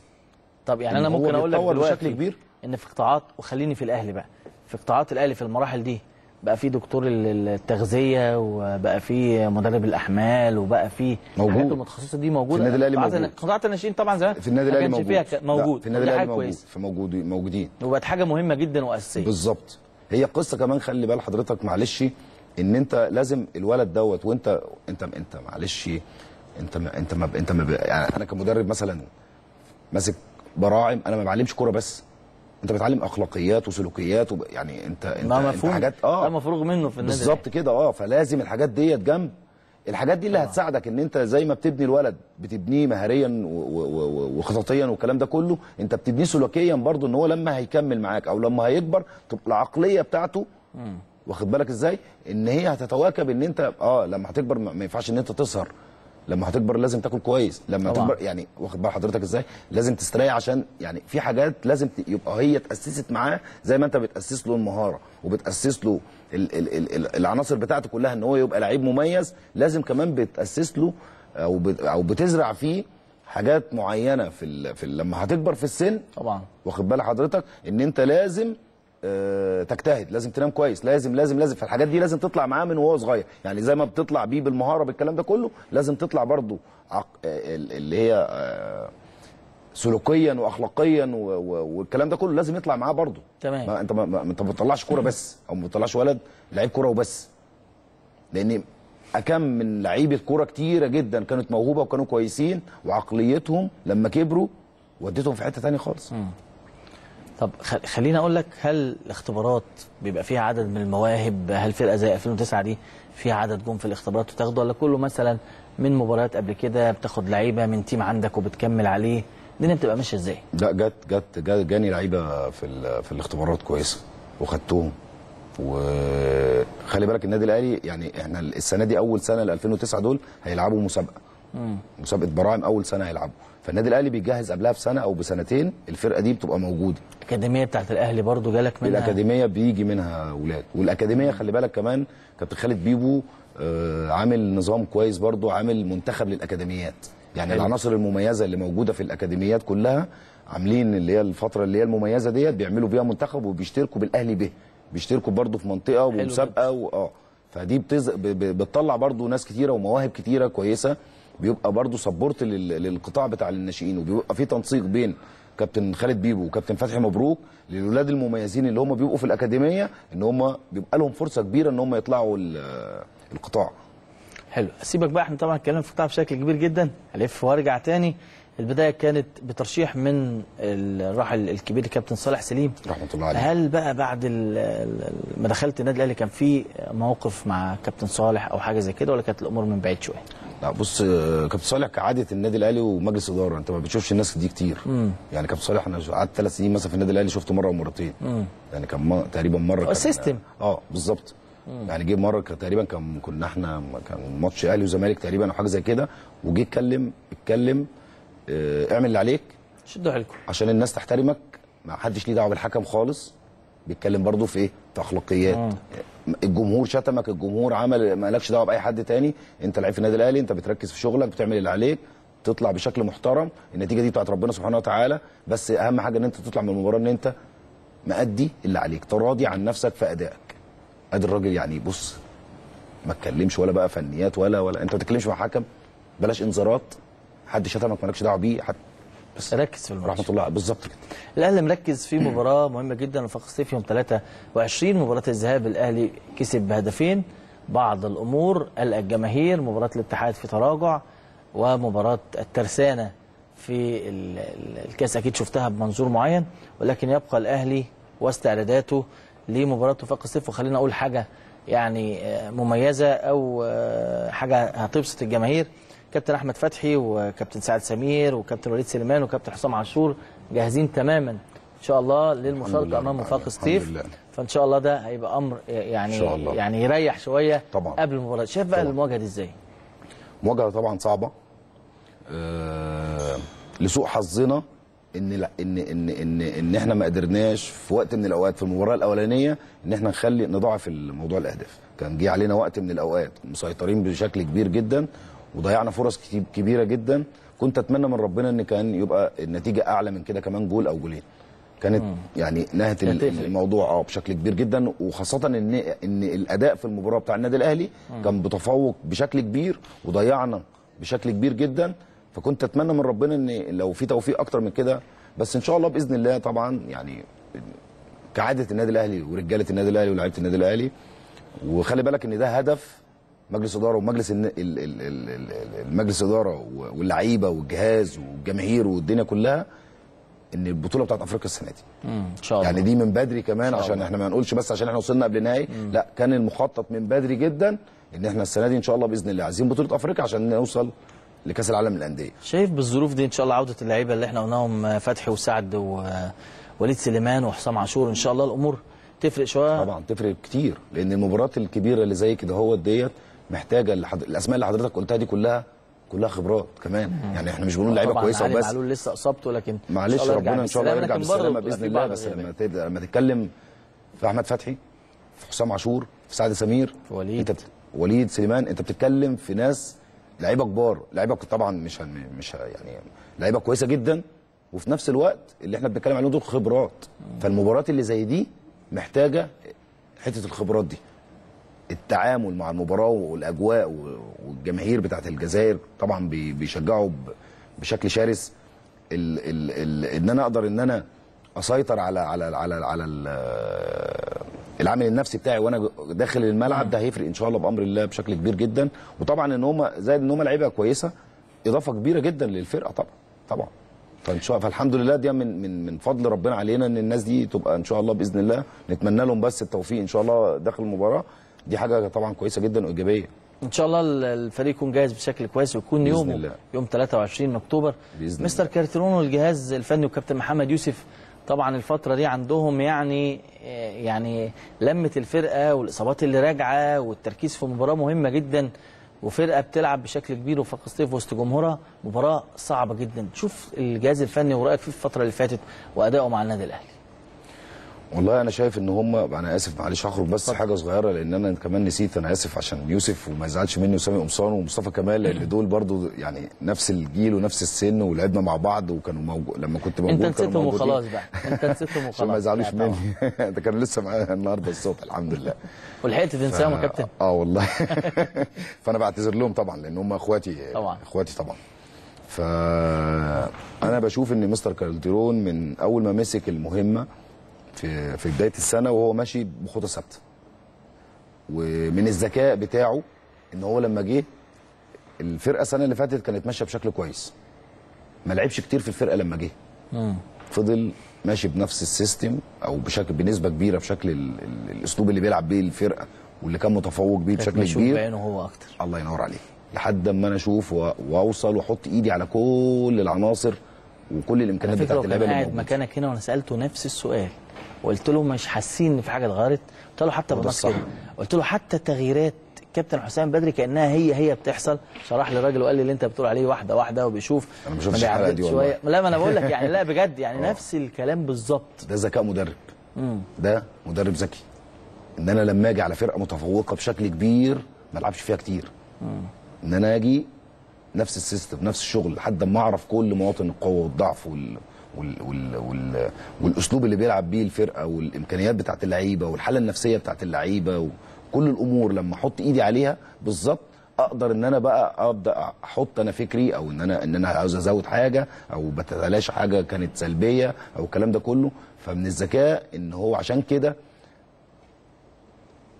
الماتشات اللي هي لعبها النادي الأهلي كلها من بداية الموسم إحنا ما خسرناش مباراة غير آه، اتحاد. الاتحاد السكندري. فدي بتبين لك إن أنت راجل جاي عارف شغلك إيه مركز في, حاجة معينة ف وماتش الاتحاد خلي بالك برضو معلش عشان ما ما نحملش لعيبة والكلام ده كله إن ال- الاجهاد والإصابات بشكل كبير في النادي الأهلي يعني مش هتلاقي فرقة في الدوري كله أو ما أظنش في العالم كله عندها كمية الإصابات أو قمة عندها كمية المباريات أو دي. المباريات دي كلها طبعا. أنت بتلعب كمان في أربع خمس بطولات وانت مطلوب منك كنادي أهلي إن أنت دايما لما بتشترك في أي بطولة إن أنت ما عندكش غير المركز الأول. واخد بال حضرتك إزاي؟ فيعني أنت ممكن تشترك في البطولات دي كلها آه أنا هطلع تاني أنا هطلع تالت أنا يعني في ممكن ناس بتشارك لمجرد المشاركة. يعني أنت مشارك في البطولة العربية. لا أنت عايز تاخد بطولة عربية. أنت مشارك في بطولة أفريقيا كأس مصر. يعني أنت كل حاجة بتلعب على البطولة. مش زي أندية تانية أنت ممكن تلعب مشارك لمجرد المشاركة أو لما يحصل عملت rotation إجباري. بالظبط يعني انت ما يعني ما عملتش rotation بمزاجك وفي حتى حتة الصف في حتة. في حتة معلش أنا. عايز أقولها برضو إن الاتحاد اتحاد الكورة من البداية وأنت بتخطط وموسم طويل يكاد يوصل يوصل لسنة كاملة وتعمل 25 لعيب أنت ما بتساعدش الأندية بتاعتك واخد حضرتك إزاي تمام. يعني أنت السنة دي جاي تقول السنة دي 25 لعيب ده من من باب أولى إن ده موسم طويل جدا وأنت عارف ان ان ان, إن الموسم طويل جدا ويكاد يخش على على على سنة ميلادية كاملة انت لازم تعمل 30 لعيب. كان لازم يبقوا في 30 لعيب. واخد بال حضرتك؟ حتى لو لو لو لو لو السنة دي استثنائية بالظروف اللي إحنا شايفينها أنا ما أحط 25 لعيب وبعد كده ترجع بقى عشان تحاول ان انت تصلح ال- الخطأ أو القرار من الأول أو عشان ما ترجعش في قرارك. تيجي تقول ان أنا في شهر واحد مش عارف هيبقوا 28 أو أو أو أو, أو خليها 30 لعيبه أو الكلام ده. ده من بداية الموسم. انت ما ساعدتش الأندية اللي بتلعب معاك في بطولة أفريقيا أو أو أو حجم البطولات أو نادي زي النادي الأهلي دوت انت يعتبر انت بقرارك ده انت ظلمت خاصة القيمه في أفريقيا بالظبط. مش 25 القيمه بالظبط. 30 بالظبط.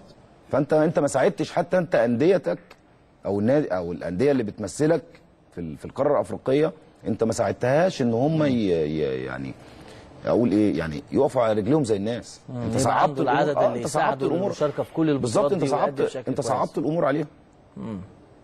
يعني لما يجي خاصة ن- السنة دي انت هتختم البطولة أفريقيا في نفس السنة هتلعب بطولة تانية. يعني البطولة بالظبط. الجديدة تبدأ في 11 يعني البطولة دي قبل ما تفنش هتبقى البطولة الجديدة شغالة. ما هو ما هو ده اللي بقول لحضرتك عليه إن التخطيط من أول السنة أو من بداية الموسم أنا الرؤية بتاعتي إيه؟ الاستراتيجية بتاعتي إيه؟ أنا شايف للأندية إيه؟ أنا بخطط إيه؟ لازم الكلام دوت يبقى موجود. أنا ما أنا أنا معلش ما بقولش قرار وخلاص. أنا ما بعذبش الانديه أنا بساعد الانديه انت موجود عشان تساعد الانديه تساعد الناس اللي موجوده والناس دي بتمثل مصر مش مش آه، لكن انت شايف ان مباراة العودة امام فاق سطيف رغم انها صعبة ان شاء الله الاهلي قادر على تخطيطها. الاهلي قادر ان شاء الله بإذن الله ب ب ب بنسبة كبيرة وان شاء الله يكون يوم النادي الاهلي ويكون اللعيبة كلهم في حالتهم لو اللعيبة في حالتهم وان شاء الله بإذن الله إن زي ما حضرتك اتكلمت على العناصر اللي هي رجعت ديت كلها عناصر قوة تقدر تزيد تزود القوة بتاعت النادي الاهلي. وأنا بشوف ان شاء الله بامر الله ان ان الاهلي هيعمل مباراه جيده هناك وقادر ان هو ممكن يكسب كمان ان شاء الله باذن الله هناك ان شاء الله كابتن حسين الوقت بيعدي. معاك سريعا لكن لو حضرتك حابب تقول. أي حاجة قبل ما أشكرك ربنا يخليك أنا. عايز أشكر حضرتك وأشكر إدارة القناة طبعا لل... للاستضافة ديت وعايز احيي معلش مجلس اداره على الحفلة اللي اللي كانت امبارح بتاعه ال... حفلة أكتوبر وشهداء حفلة أكتوبر ديت. حاجة جميلة جدا ده دور النادي يعني الأهلي الواحد آه بالظبط. كده بالظبط الكابتن الخطيب قال عائلة النادي الأهلي وإن. الأهلي له دور اجتماعي بالظبط كبير أنا جدا أنا دي حاجة حاجة يعني أنا كنت قاعد فخور بيها إن هي والناس الأبطال اللي كانوا موجودين واللي اتكرموا. وهم بيحكوا المواقف والكلام ده كله فعلا زي حتى كلمة كابتن الخطيب إن الأجيال الجديدة كلها لازم تعرف تاريخ النادي الأهلي إيه وتعرف تاريخ مصر إيه وقواته المسلحه إيه وعملت إيه عشان الناس اللي طلعت دي كلها تعرف إن هي يعني يعني في ناس كتيرة ضحت بحاجات كتيرة جدا علشان إن أنت دلوقتي تبقى إن أنت آمن وعايش كويس في حياتك. وإن شاء الله بإذن الله يعني ربنا ينعم علينا وعلى على مصر وعلى النادي الأهلي.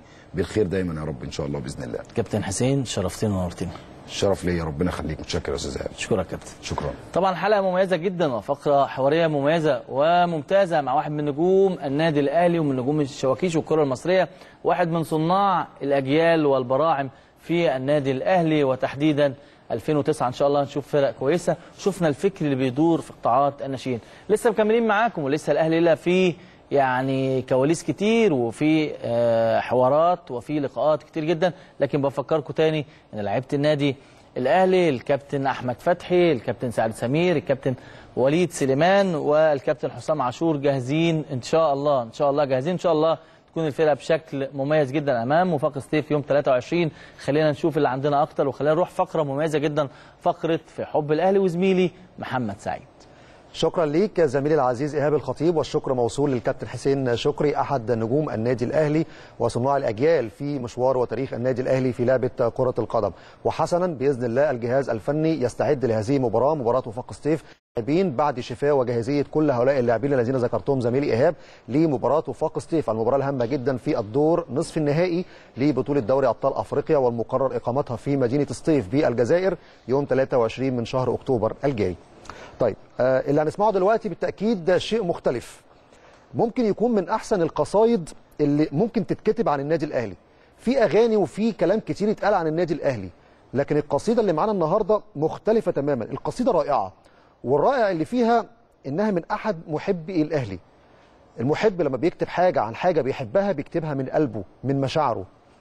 اللي إحنا بنتشرف اللي إحنا بنعرضها هنا في آه، منبر من منابر الأهلي الإعلامية قناة النادي الأهلي مهما اوصف من كلام يعني في كلام جوايا كتير عايز اقوله لكن مهما اوصف من كلا- كلام يعني مش هيكون زي اللي هتسمعوه دلوقتي. قصيدة رائعة لدرجة فوق الوصف. أسيبكم مع القصيدة اللي تحت عنوان صرح العلا. عامرة قلوبهم بالحب المترفعين عن الحقد والدنايا.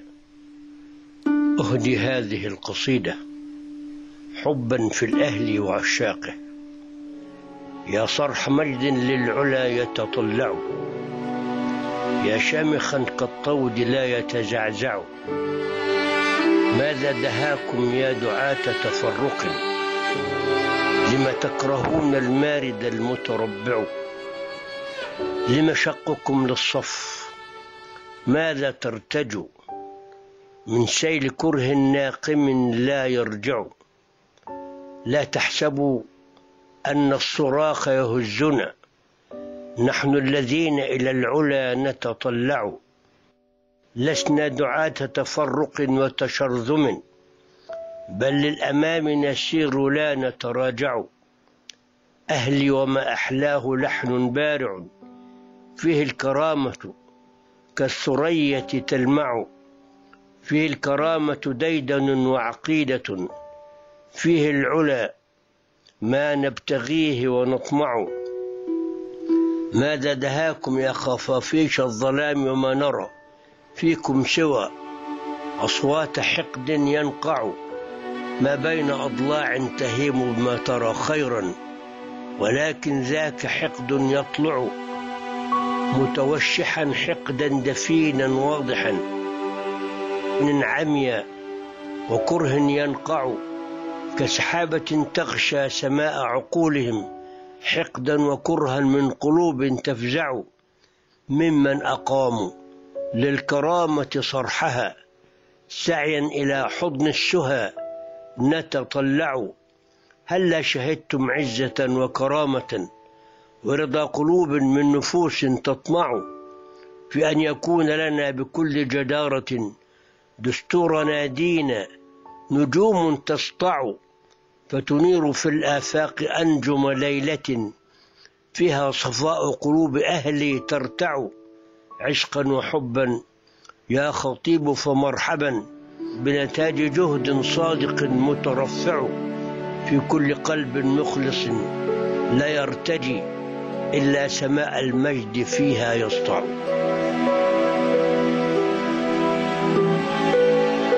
صرح العلا. بقلم حسن عبد الفضيل العوض.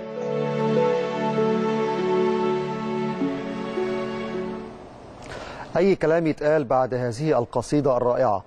فقرة في حب الأهلي الفقرة أقول إيه؟ بإيدين وبتتكتب بقلوب كل واحد محب للنادي الأهلي في جمهورية مصر العربية وفي الوطن العربي الكبير. فقرة في حب الأهلي اللي بيقدمها جمهور النادي الأهلي. أحد محبي النادي الأهلي بالتأكيد هذه القصيدة قصيدة لها معاني كثيرة جدا وكل كلمة في هذه القصيدة بتمثل وجدان ومشاعر كل أهلاوي غيور على ناديه. القصيدة فيها معاني تتعلق بالتاريخ وبالرموز وبالقيمة الكبيرة للنادي الأهلي. القصيدة حبا في الأهلي وفي عشاق النادي الأهلي. فيها كلام ومعاني وانت بتتكلم عن أي شق للصف وانت بتتكلم عن الأهلي دائما فوق جميع فوق جميع أبنائه. لسنا دعاة للتفرق ولكن للأمام تقدما. قيمة الاهلي في هذه المعاني وفي هذه المشاعر لهذه القصيدة الرائعة اللي مهما وصفتها بالتأكيد ليها معاني كثيرة جدا. والفقرات القادمة أو الفترة القادمة بإذن الله من خلال فقرة في حب الأهلي آه، أي حد بالتأكيد عنده قدرة أن يكتب قصايد شعر في النادي الأهلي بالتأكيد هيبقى عندك قصايد بالملايين. الأغاني والأناشيد المتعلقة بالنادي الأهلي دايما موجودة مش في الملاعب بس. في البيوت انت لو دخلت على السوشيال ميديا وشفت كل واحد اهلاوي ممكن يكتب إيه عن النادي الاهلي هتلاقي فيه شعر وهتلاقي فيه أغاني ممكن تؤثر فيك لدرجة إنك تدمع وتعيط لما تسمع هذا الكلام بيتعلق بالنادي الأهلي وبرموز النادي الأهلي وبتاريخ النادي الأهلي وبكيان النادي الأهلي. شكرا بالتأكيد للأستاذ حسني عبد الفضيل عوض اللي كتب هذه القصيدة الرائعة اللي تحت عنوان صرح العلا. شكرا جزيلا وإلى الأمام دايما يا رب بإذن الله والنادي الأهلي إن شاء الله دايما في المقدمة على الصعيد المحلي والصعيد الإفريقي والدولي حبا وقيمة لهذا الكيان من أجل جماهيره العاشقة لروح الفانيلا الحمراء وقيمة النادي الأهلي نادي القرن الإفريقي. الفقرة القادمة تقرير مهم جدا عن مراكز الشباب وفي حديث لوزير الشباب والرياضة ومندوبي مراكز الشباب يتحدثوا عن أهمية مراكز الشباب في مصر ودورها الرياضي والاجتماعي خلال الفترة القادمة. نخرج إلى هذا التقرير ثم بعد التقرير الفقرة الحوارية الثانية مع أحد آه، النجوم أنا بسميها أحد النجوم أو إحدى النجمات اللي عملت رقم آه، قياسي كبير جدا ودورنا هنا في قناة النادي الأهلي بالتأكيد إن إحنا نلقي الضوء على بنت النادي الأهلي وهي بنت مصرية على طريق العالمية الكابتن ريم أشرف. Música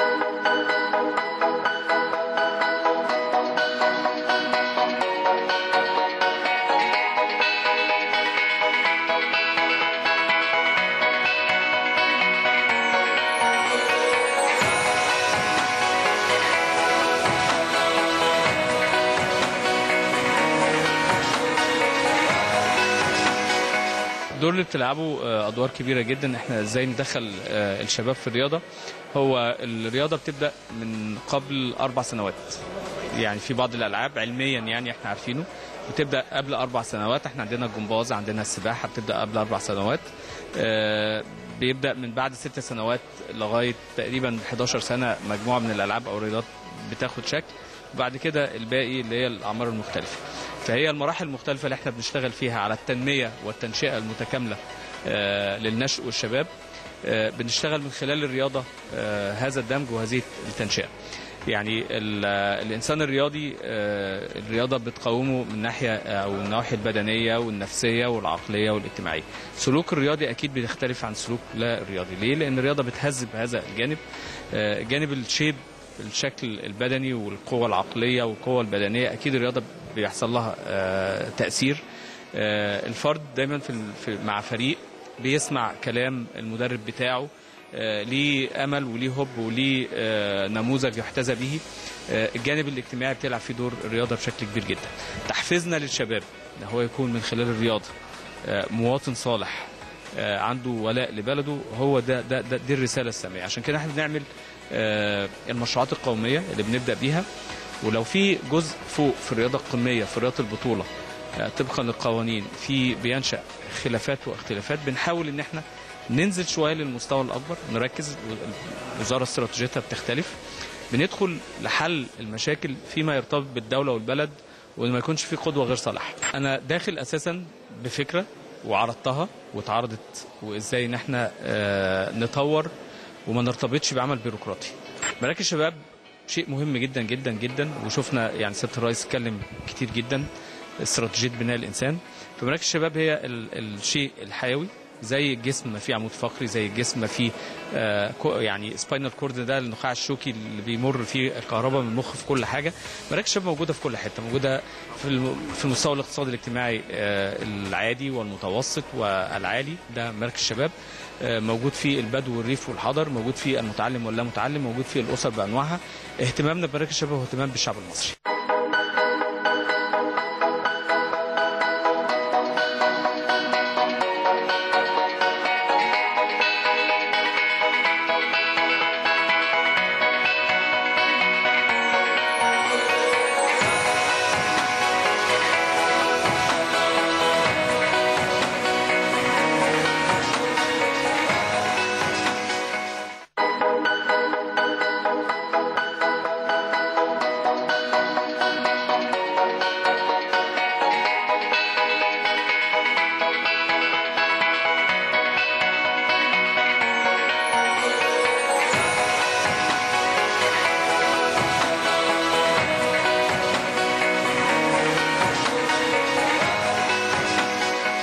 طبعا اهميته كبيرة جدا جدا. آه، لاكتشاف طبعا المواهب الموجودة في القرى ومراكز شباب القرى فبصراحة المسابقة ديت آه، عرفتنا على لاعيبه كانت سهره أحسن من اللي بتلعب في الأندية الدوري الممتاز. نقي الشباب ويطلع عناصر مفيدة للمنتخبات القومية والأندية الكبيرة. كذا لعيب تاخد في مراكز الشباب مراكز الشباب. راح انديه كبيره وبقى مستقبل مصر منتخب الوطن. والله إن إحنا ننمي تجمع الشباب, الشباب مع بعضه ونطلع أجيال جديدة وعناصر ومواهب في مواهب كتيرة جدا في مراكز الشباب جميلة جدا. تلعب في أندية كبيرة زي الأهلي والزمالك وجميع الأندية كلها. طبعا مراكز الشباب قبل كده قبل الم- قبل الدوري كانت تعتبر معدمه خالص. جه الدوري نشط خلى مراكز شباب فعالة. فمو طبعا طلع منهم لعيبة كتير من المراكز وبقت في الأندية دلوقتي. الدوري ده بيظهر مواهب يصعد الأندية وأنا مودي قبل كده للملك لغزل المحلة أكتر من عشرة من المواهب بتاعت مدرسة الكورة. كنت بتعاقد معاهم لكل عام. أودي لهم في الاختبارات أكتر من 10 و15 نصف عليهم خمسة. العناصر اللي هي كانت تنفع أو ما تنفعش. ترجع تاني. النهارده المراكز شباب لما رجعت ال- المصدر الدوري ده بينت حاجات عندنا كنا ميتين منها خالص. مركز شباب بتاع أساس ما فيش عنده أي مادة نهائي عشان تساعده. إلا ما جه الملعب ده وجات الملاعب دي دلوقتي والدورة هتبدأ لنا إحنا النشاط وتجيب لنا عائد للدوري. وبعدين نبص نلاقي المواهب دي كلها تطلع تصعد للدولة. منفعة لمركز الشباب للمراكز الكبيرة. وتنفع الخدمه طبعا الهدف من مراكز الشباب إن إحنا بننشط الدوري آه، كرة القدم في جميع مراكز الشباب في المحافظة. إحنا عندنا السنة دي مشترك حوالي أكتر من 120 آه، فريق. آه، 280 مركز شباب وده عدد كبير جدا الحمد لله. صعد منهم 24 فريق آه، في التصفيات النهائية إن شاء الله هتعمل قريب النهارده. آه، الهدف منها كمان إن إحنا بنخرج مجموعة مجموعة لاعبين يشاركوا في آه، أندية الدرجة الأولى والدرجة الممتازة. عندنا أربعة لاعبين الدوري اللي فات شاركوا طلعوا لنادي المقاولين وسموحة و- فطبعا والرجاء منهم اللاعب هشام بلحة ده نقل لسموحه وده الهدف بقى إن إحنا نفرز مجموعة من اللاعبين يشاركوا في ال- الأندية الكبيرة.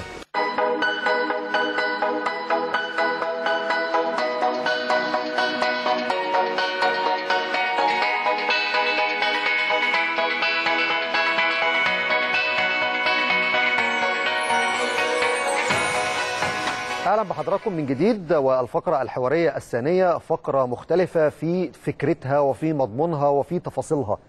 هي أشياء لا تشترى زي ما كنا بنتكلم على قصيدة في حب الأهلي لكن الفقرة القادمة بما إن إحنا النهارده معانا بنت من بنات النادي الأهلي وبنت مصرية لكن على طريق العالمية.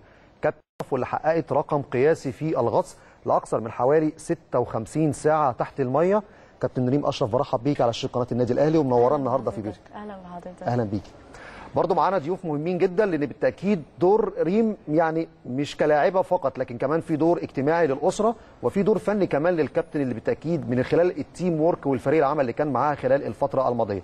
برحب بوالدها الأستاذ أشرف محمد فوزي. أهلا بيك يا أستاذ أشرف. اتشرفت أهلا بيك يا فندم. برحب أيضا بالكابتن السيد حسن مدرب الغطس واللي كان مصاحب لريم في فترة الغطس اللي خاضتها تحت المية خلال الفترة الماضية. أهلا وسهلا. اولا آه، فقرة مختلفة وفيها تفاصيل كثيرة لكن قبل ما نبدأ الفقرة الحوارية نخرج إلى تعليق صوتي وتقرير عن ريم أشرف تحت عنوان بنت مصريه على طريق العالمية.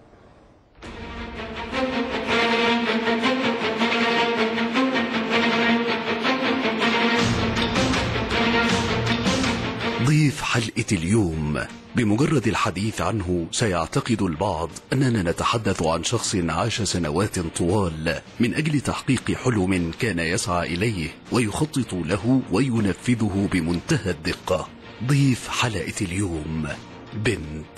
استطاعت أن تكتب اسمها في التاريخ مبكرا عندما حققت رقما قياسيا كأطول غطسة في التاريخ. فقد نجحت في البقاء تحت الماء لمدة تجاوزت 56 ساعة. ريم أشرف محمد فوزي. عمرها 14 سنة.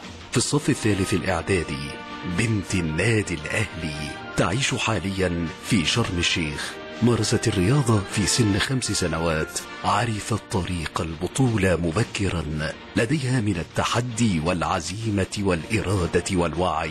ما يكفيها للوصول إلى العالمية منذ الصغر. غطسة ريم تمت وفقا للمعايير الدولية. وباستخدام أفضل الأساليب التكنولوجية لتغطية الحدث. حتى لا يشكك أحد في مصداقيتها. من هنا يجب أن نذكر دور الأسرة التي أسهمت بشكل واضح في الوصول إلى هذا الإنجاز الذي يصعب على البعض تحقيقه. الغطس ليس الرياضة الأولى أو الوحيدة التي تمارسها ريم فبرغم أنها حققت رقما قياسيا كأطول غطسة في التاريخ إلا أنها كانت لاعبة كاراتيه مميزة في فريق النادي الأهلي. فازت بالمركز الأول في بطولة القاهرة لمدة ثلاث سنوات. الاسكواش والجمباز أيضا من أهم الرياضات التي تمارسها ريم. إلى جانب هوايتي العزف على البيانو والرسم. هنا يجب أن نسأل أنفسنا كيف تنظم ريم حياتها؟ كيف أعدت نفسها؟ ما هي التحديات التي واجهتها خلال المنافسة على لقب صعب المنال؟ حوارنا مع ريم. سيكون شامل. سيتطرق إلى كافة الأمور بداية من ممارستها للرياضة مرورا بالصعوبات التي واجهتها قبل تحقيق الرقم القياسي. ما هي طموحاتها في الفترة المقبلة؟ نهاية. بآخر مستجدات أزمة عدم انضمامها لموسوعة جينيس العالمية للأرقام القياسية. ريم أشرف بنت مصرية. على طريق العالمية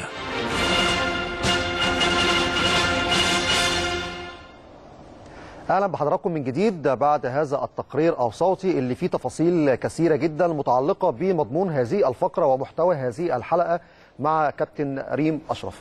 اولا ريم عايز أسمع تعليقك على هذا التقرير وفي تفاصيل كثيرة بتتحدث عن مشوارك حتى هذه اللحظة. لا آه، جميل جدا تسلم تسلم إيديكم فعلا حلو قوي أستاذ أشرف آه، كنت عايز تقول لي حاجة متعلقة بهذا التقرير. يعني أنا آه. لقيتك اتأثرت لا ممتاز. ممتاز وفكرتني يا ريم لما كانت آه، بتلعب كاراتيه كنت بحب أتفرج على أوضاعها. آه، آه، وهي قصيرة جسمها صغير كده. أوضاعها كانت جميلة جدا. كنت بحب احس إن أنا أكن يعني بسمع أغنية. عايزه تعيد وتعيد مش عايزه تبطل يعني. فبصراحة فكرني ورجعني يعني أيام جميلة بصراحة. متشكرين جدا يعني تقرير ممتاز. لا ده حققها يعني طبعا كنا نتمنى نقول إن كمان الرقم بتاعك دخل موسوعة جينيس العالمية لكن ده جزئية أكيد هنستفيد ونتحدث فيها في حوار النهارده. لكن أبدأ معاك يا ريم بما إنك أنت صاحبة هذا الإنجاز. فكرة إنك تنزلي تحت المية وتحققي رقم قياسي يعني أنت وصلت لرقم 56 ساعة وده رقم قياسي. يمكن تعديتي لاعيبه أسترالية كانت عملت حوالي 51 ساعة اسمها كريستيان كويل. لكن إنك 56 ساعة تحت المية. الفكرة جات لك منين؟ وبعدين انت غيرتي أكثر من لعبة الفترة الأخيرة. بدات بلعبة الكاراتيه داخل النادي الأهلي ثم دلوقتي غطس. احكي لي بقى. الناس كلها عايزة تسمعك. الأول هي فكرة الغطس خالص آه، بدأت كانت من بابايا إن هو كان بيغطس. الموضوع عجبني فأنا غطست معاه وقررت إن أنا أدخل في الموضوع بنفسي. بعد كده بدأت التمرين آه، مع كابتن سيد. هو مرني ست شهور بالظبط لغاية اما إحنا آه، يعني أول أنا بحب أبقى متميزة في أي حاجة أنا بعملها. فاحنا كنا قاعدين بنتكلم في إيه حاجة أنا ممكن أعملها تكون ما اتعملتش قبل كده يعني تكون جديدة. فاحنا استقرينا على الريكورد ده وبدأت التدريب بقى من ساعتها إن أنا بتمرن إن أنا أقعد آه، أوقات كتيرة تحت المية إن أنا يطلع عليا صبح وليل في نفس الوقت. إن أنا إزاي أشرب وإزاي أمارس الحاجات اللي أنا كنت بمارسها في نفس في الإيفنت نفسه. تمام. طيب في تفاصيل كثيرة. يعني أنت أنت عشت تحت ما يقرب من أكثر من يومين. وكم ساعة؟ ده أنت كنت قربت تخش في ثلاث أيام. تحت المية حياة صعبة أكل وشرب وحاجات كتير جدا ممكن تتقال. لكن أروح لوالد كابتن ريم أستاذ أشرف يعني. فكرتها نفسها انت ما خفتش عليها لما تقعد كل المدة الزمنية دي وهي داخلة هذا أقول إيه آه تماما. شايفها حاجة صعبة لا أنا كنت قلقان لا هي يصيبها يأس. يعني في فترة من فترات لأن الفترة طويلة هي صغيرة. آه السن ده بيبقى واخد على إنه يجري ويلعب ويتنطط. آه بيبقى يعني بالليل بينام في حضن أبوه وأمه. فحضرتك تخيل إن هو يومين أو ثلاث أيام. يعني الموضوع مش سهل. ولكن بصراحة أنا أول مرة في حياتي أتخيل إنها ممكن تعمل كده وتت يعني تتحدى نفسها. آه، الحاجة الثانية إن آه، يعني ريم إحنا كنا بنتابعها على شاشات ال- ال- ال- ال- الكاميرات فوق. آه، كنا عندنا بننقل من السطح من القاعه للسطح. فكنت على طول براقبها من كتر القلق. كنت بحاول أبعد نفسي عن الكاميرات. لأن كل ما باجي ناحية الكاميرا ببقى بي قلقان عليها. آه بيجي لي إحساس أنا يعني ربنا يستر. هل ممكن تطلع دلوقتي؟ معقولة ممكن تطلع دلوقتي؟ لكن بصراحة خيبه ظن الجميع؟ أنت قلقان عليها عشان تطلع ولا قلقان عليها عايزة تكمل تحت؟ أنت ما بين الاثنين يعني. أنا عايزة عايزها- تعمل رقم قياسي هي- هي- وخايف وعايزة تطلع. بالظبط. هي هي هي هي عايزة تنجح وتعبت. بصراحة ال- اللي ريم عملته أنا بقول لها أنا 20 سنة خدمة عسكرية. عمري عمري ما أقدر أعملها. مستحيل. طيب كابتن سيد حسن أنت حضرتك مدرب غطس و... ومميز جدا في هذه اللعبة وفي هذا الأداء التكتيكي بالنسبة للعبة الغطس إن برضه أي لعبة أكيد فيها أداء تكتيكي وفيها شغل فني بتشتغل عليه. آه، اشتغلت إزاي معاها؟ كناحية فنية بقى إن هي إزاي تستعد الأدوات اللي معاها آه، الأكسجين اللي ممكن تنزل بيه عشان تقعد في المية لأكتر وقت إزاي بتغيروا المعدات. كمان مسألة التصوير تحت المية وإحنا قدامنا لقطات ليها تصوير تحت المية أنت بتوثق ده. كمان عشان لما تبقى تحت تاخد الرقم قياسي من موضوع جينيس يبقى عندك كل حاجة موثقة من أول ال start لغاية ال finish تمام حضرتك. هو بالنسبة للتدريبات لريم بدأت آه، بعد إنها بقت غطاسه عاديه لمدة ست شهور. وبعد كده بتبدأ آه، لما بدأت الفكرة إن إحنا نعمل آه، موسوعه جينيس وكده فالتدريبات بتختلف. الغطس العادي كغطاس بينزل ساعة إلا ربع ويطلع أو ساعة وبيطلع بيختلف على اللي هتعمله ريم. فبدأنا بالراحة يعني واحدة واحدة على أساس خدنا مدة بتاع سنة ونص. في لأن كان في دراسة برضو في نفس الوقت ريم كانت بتدرس وكان عندنا جمعة وسبت وكده. وبدأنا معاها بساعتين بثلاث ساعات بأربع ساعات وكده لحد ما بدأ يكتمل الوقت اللي أنا حسيت فيها حاجات كتير. يعني حسيت فيها إصرار في في صبر آه، جامد في هدوء مش موجود في غطاس شفته قبل كده. فده الدافع اللي خلى الواحد آه، يكمل معاها ويثق إنها هتوصل اللي هي بتعمله يعني. طب اشرح لي الأدوات اللي معاها تحت يعني هو حضرتك اولا آه، كنت حضرتك ذكرت كلمة أكسجين بس أكسجين ده ما حدش بيغطس بيه. هو بيبقى هواء عادي آه، مضغوط في التنكات الهواء العادي اللي إحنا بنتنفسه هو نفس الهواء اللي بتنزل بيه. آه، في البداية بتتدرب زي التدريب اللي هو على الشاشة. دلوقتي ده عبارة عن التدريبات الأولية اللي هي لما كنا بنقعد ست ساعات وثمان ساعات و16 ساعة بالويت سوت بالسوت البدلة اللي هي بتتبل لما لما نبدأ بنزيد عن كده بتتغير الفكرة وبيجي dry suit. في suit بتلبسه ما بيدخلهاش أي مية جوه تمام؟ و آه، بيبدأ ال team يكبر عشان أنا بقى مش هقدر أتحمل ال- الوقت ده كمدرب لوحدي. لازم نتغير لأن مش هقعد معاها فيما بعد مش هقعد معاها 56 ساعة. تمام؟ فكان ليها team واتدرب ال team إزاي يتعامل معها كل واحد بطريقته بالطريقة بتاعته. وهي كانت بالليل ونهار يعني في النهاية كنا بنقعد مع بعض عشان يبقى الموضوع كفاميلي يعني يبقى هي عارفة مين اللي نازل معاها وشافته قبل كده وموضوع نفسي في النهاية. تحذير عشان ما تتفاجئش بحاجة. آه هي ما فيش مفاجآت لأن هي جه كانت جاهزة جاهزة. قبلها بس عشان تتعود لأن كان الموضوع كله عبارة عن آه إزاي تقضي الوقت ده يعني. تمام. طب بس. إزاي تقضي الوقت ده؟ ريم أنا قدامي في اللقطات المعروضة أنتوا بتلعبوا دومينو؟ آه. لا يعني آه لا يعني أنت عشت ثلاث أيام تحت المية بقى بتعملوا حياة بكاملة يعني. آه دومنا وأكل وشرب و...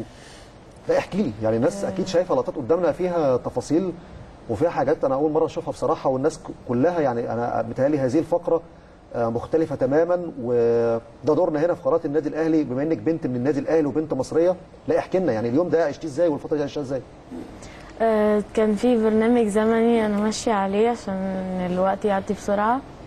آه، كنت بلعب dominoes آه، كنت بلعب آه، شطرنج. كان في آه، آه، بينج بونج. بينج بونج؟ مم. مم. آه، كنت بتفرج على أفلام وكان في قراية كتب.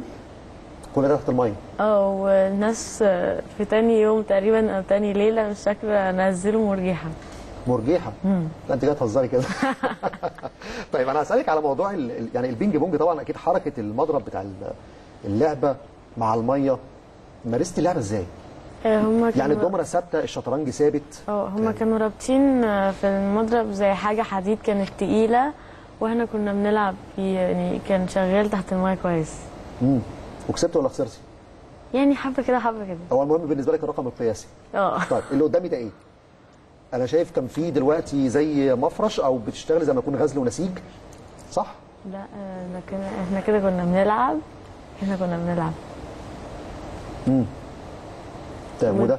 ده اشرحي لي إيه إيه ده؟ فيه زي مشمع عشرة في عشرة ده المكان اللي أنا قاعدة عليه ده اللي فيه حاجاتي اللي أنا قاعدة عليه ال مم. ال 56 ساعة كلهم طيب أكلك وشربك يعني إيه إيه ال- التغذية بالنسبة لك كانت ماشية إزاي آه، الأكل الطبيعي اللي في الحياة الطبيعية فوق ولا كان تحت لا الأكل لا إزاي كان في آه، بتبقى عصاير طبيعية ومية مم. هي هما أنا بكتب أنا معايا board تحت بكتب عليه أنا عايزة إيه ال board بيطلع فوق هما بيجيبوا لي اللي أنا عايزاه وبينزلوه لي تحت. طيب لما الدنيا ليلت أنا شايف ماسكه كشاف عشان يبقى في نور بالنسبة لك تحت المية. آه وهو أصلا في نور جاي من فوق ده كشاف آه، كبير هما عملوه بي- بينور تحت بيخليه أكنه الصبح بالظبط. الدنيا لو من غير الكشاف فوق والكشاف تحت تبقى الدنيا ضلمة بالنسبة لك. هتبقى ضلمة. حتى بالكشاف هتبقى ضلمة شوية يعني ده عشان أقدر أقعد تحت. مم. كان على عمق قد إيه المسافة دي كلها؟ ستة متر. إن قوانين الغطسة ما ينفعش أي جزء من جسمي يترفع عن خمسة متر إلا كده الغطسة انتهت. لكن كان المسافة 6 متر. تمام. وكنت ماسكة علم مصر؟ نعم. آه، نعم. والشعب المرجانية؟ ولا المكان ده كان فيه طب ده كان في غطسة تانية. لا دي في غطسة دي في غطسة ثانية مش في نفس آه. الغطسة. بس ال- الغطسة نفسها الإيفنت كان على سقالة وطنية تمام طيب. أستاذ أشرف آه، أنا عايز أتكلم من الناحية الأسرية. يعني آه، بسم الله ما شاء الله يعني بنتك بالتأكيد آه، أي أب بالتأكيد بيكون فخور إن عنده بنت رياضية بهذا المستوى اللائق ربنا يبارك لك فيها. لكن لعبت العديد من اللعبات الفترة الأخيرة وفي الآخر انتقلت إلى لعبة أخيرة أو لعبة أخرى لعبة الغطس. شايف تدرجها في هذه الألعاب الرياضية ثم المرحلة الختامية والمرحلة اللي إحنا بنتكلم عليها دلوقتي الغطس والرقم القياسي اللي حققته. شايف الفكرة إزاي؟ وطموحها هي إزاي كمان؟ ودور الأسرة معاها إزاي إنها تساعدها على ده؟ بس حضرتك هو سوري. آه، بص حضرتك هو الواحد يعني تع- اتعودنا على أساس إن إحنا شكرا. إحنا كده كده بنبذل مجهود. فإحنا لو هنفترض إن أنا ببذل مجهود 30 40% 50% لا أنا اخليه 80 أو 90% أتعب شوية سنة. ولكن يكون هدف هدف يعني يعني له معنى. حضرتك واخد بالك إزاي؟ فإحنا متفقين على هذا المبدأ. سيان بقى كانت بتلعب كاراتيه أو سيان بتلعب أي حاجة ثانية ولكن بالنسبة للغوص كان له حاجة ظروف خاصة خالص. لأن إحنا بسبب اتنقلنا من القاهرة لشرم الشيخ. لأن هي كانت عايزة تعمل حاجة. الاسره كلها انتقلت إلى شرم آه آه الشيخ. نقلنا المدارس وكل شيء. لأن أنا أصلا already كان عندي شوية business يعني هناك. ولكن ال main business في القاهرة. ولكن هم حبوا شرم الشيخ هدوءها وجمالها وجوها و... يعني ف آه، قالوا خلاص إحنا نكمل هناك. فبالفعل أول ما بدأنا أول ما انتقلنا يعني بدأنا على طول في البرنامج والكابتن سيد حسن بدأ على طول يكثف شغله. على أساس إن إحنا آه، يعني في الأجازة اللي هي خططت فيها فعلا إنها تبتدي تنفذ طب هي ممكن تنتقل عشان تحضر نفسها لكن إخواتها؟ يعني حضرتك كنت بتكلم معاك قبل الحلقة لا أسرة وليها إخوات بنات ومتميزين كمان في المراحل الدراسية. لكن مشاكل. إن الأسرة كلها تنتقل؟ لأن المكان شرم الشيخ حاجة- يعني مدينة مميزة. يعني بص تخيل حضرتك. هي ساحرة بصراحة شرم آه الشيخ مدينة يعني. اللي بيسوق بيسوق حوالي سبع ثمان ساعات عشان يروح يقعد أربع خمس أيام. طب تخيل بقى حضرتك جات لك الفرصة تقعد هناك. مفيش أحسن من كده. طبعا. طبعا أكيد أكيد. فطبعا يعني الواحد رضخ المطالب الجماهير و كل طلباتك اوامر طيب كابتن السيد عايزك تكلمني بقى على الناحية التقنية في الغطس. اولا ريم لما بدأت اللعبة معاك أو تحديدا الفكرة انها تنزل تغطس عايزك تكلمني عن 56 ساعة. تمام. النواحي الفنية اللي أنتوا اشتغلتوا عليها معاها إزاي اهلتها نفسيا واشتغلت معاها من ناحية فنية. وعايز اتكلم كمان عن الرقم اللي هي كسرته يعني في لعيبة أسترالية اسمها كريستيان كويل عملت هي عملت 51 51 ساعة و25 دقيقة. وعلى فكرة في فرق شاسع كمان في السن. ريم عندها يا جماعة ريم عندها 14 سنة. اللعيبة الأسترالية اللي حققت هذا الرقم اللي يعتبر خلاص ريم كسرته عندها 38 سنة. فبنتكلم في آه، يعني آه، عوامل بيولوجيه وفسيولوجية مختلفة تماما ما بين فارق الأعمار السنية ما بين اللعيبة الأسترالية وريم البنت المصرية. اتفضل يا كابتن. حضرتك في نقط معينة كنا لازم نركز عليها قوي اللي هي طبعا آه، من النهار لليل. دي هتقعد طبعا آه، 56 هي كانت مقررة 55 ساعة الأول. آه، طبعا هتنام. ففي حاجة اسمها فول ماسك وفي ماسك عادي اللي هو بتلبسه. فلازم تتدرب إزاي تستعمل ده آه، لوحدها. فده خد يعني أنا كنت متخيل بقى إن هقعد معاها شهر عشان أعلمها حاجة زي كده. أنا ساعتها اتصلت بسياده العميد أشرف قلت له أنا نزلت من المركب وغيرت ده ورجعت تاني ورجعنا المركب في 11 دقيقة. يعني أنا ما كنتش متخيل ان إنها ممكن آه، بالسرعة دي لأن في أنا متأكد لحد دلوقتي في مدربين غطس ما يقدروش يعملوا الحاجة دي. ينزل من المركب يغير ال mask ده ويلبس ده ويطلع تاني المركب في 11 دقيقة. فكان في فيها قدرات أنا ما شفتهاش في حد يعني آه، قوية جدا بتستحمل آه، عندها صبر بتسمع وأنت وأنا بشرح وبعدين بتنزل تنفذ. تمام؟ فده كان أهم جزء من الأجزاء اللي هي بتاعت آه، ال event اللي هي لازم تعمله لأن عايزة تنام عايزة تاكل فلازم تغير من ده لده وكده. و آه، علمها الصبر يعني نقعد بقى مع بعض نحاول أي حاجة نقدر ليه؟ لأن فيزيكال زي ما الدكاترة قالوا وزي ما إحنا شايفين طبعا وزي ما أنا شفت في 16 ساعة اللي عملتهم إنها طلعت ومشيت وراحت. وبعد 56 ساعة طلعت ومشيت وراحت البيت وراحت صورت وراحت عملت اللي هي عايزاه. إنما صاحبة ال 8 و... و... و30 سنة آه، أربعة مارينز شالوها على نقالة ونقلوها ومشوا بيها. بعد ما طلعت. تمام كده. إنما دي نمسك الخشبة يا كابتن أكيد طبعا أكيد الحمد لله. يعني هي أهلت نفسيا كويس جدا لأن أنا برضه في نفس الوقت في بعض درست برضه حاجات عن النفسيه للأطفال في الغطس في إيطاليا قعدت كورس ثلاث أسابيع وفي ألمانيا أسبوعين. وإزاي أعرف أتعامل مع السن الصغير يعني؟ ده كده معجزة. حضرتك بتتكلم عن معجزة. تمام تمام حضرتك فهي أهلت نفسيا لأن آه، للحاجة دي كويس جدا. وهي فيزيكال فطبعا في دكاترة دكتور عادل ودكتور أحمد أكدوا لنا إن كل شيء تمام قبل ما تنزل المية.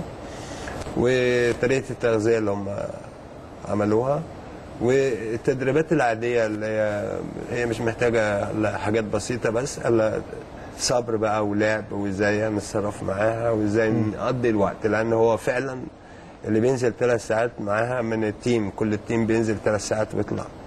اثنين كل ثلاث ساعات بينزل اثنين ويطلعوا يغيرهم اثنين بيبقوا خلاص يعني خلصوا اللي عندهم وزهقوا زهقوا. فما بالك دي ده هي. هتقعد 56 ساعة. ساعة. فكنت أنا مخلي نفسي على الأقل جوكر كنت كل شوية أنزل اناكف فيها وبتاع صح صح شوية وكده وبعدين أطلع تاني. طيب ريم آه وأنا بتكلم معاكي في الحلقة أكيد في مواقف كتيرة واجهتك في أقول في الرحلة اللي أنت خضتيها تحت ال- المية. إيه المواقف الصعبه اللي واجهتك؟ التجربة بشكل عام شفتيها إزاي؟ هو الحمد لله ما كانش فيه مواقف صعبة واجهتني بس أي الموقف الصعب الوحيد اللي أنا كنت خايفة إن هو يواجهني إن أنا إن أنا ايأس أو إن أنا أزهق إن دي تبقى في حد ذاتها مشكلة. إن يعني المفروض إن إن هما إن أنا شاغلة وقتي إن الوقت يعدي بسرعة وفي نفس الوقت ما يسيبونيش أفكر إن أنا فضلت أفكر كتير.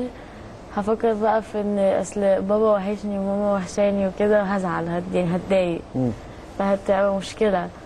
يعني المفروض إن أنا آخر- يعني الحاجة الوحيدة اللي أنا كنت خايفة منها إن أنا يأس أو أزهق. طب إيه اللحظة اللي ما تنساهاش؟ اللحظة اللي كسرت فيها رقم آخر حاجة في الحدث في ال event نفسه. لا لا قبل لا ما لا تطلع دي كانت قبل ما أطلع قبل ما تطلع من المية خمس بخمس ساعات. خمس ساعات. خمس ساعات ونص. كان لما- آه، كان ما أعرفش كان في صورة أو كده آه، نزل آه، الشباب كلهم نزلوا ال team كله نزل نط في المية وكتب لها ورقة إن هي لوحة كبيرة إن هي كسرنا كسرت الرقم. الرقم. أنت ما كنتش عارفة التايم اللي أنت فيه تحت ما مش عارفة الوقت عدى قد إيه. أنا وصلت لمرحلة إن أنا سبت الساعة وما بقتش أبص فيها. مش عايزة تبصي فيها عشان ما تقلقيش. أو تتضايقي أو تزهقي. لا، ببص فيها ألاقي مثلا فاضل 16 ساعة يعني. هتقولي إيه الملل ده؟ مش هتكملي. لا كان لازم أكمل. كان عندك تحدي. التحدي والإصرار ده جبتيه منين يا ريم؟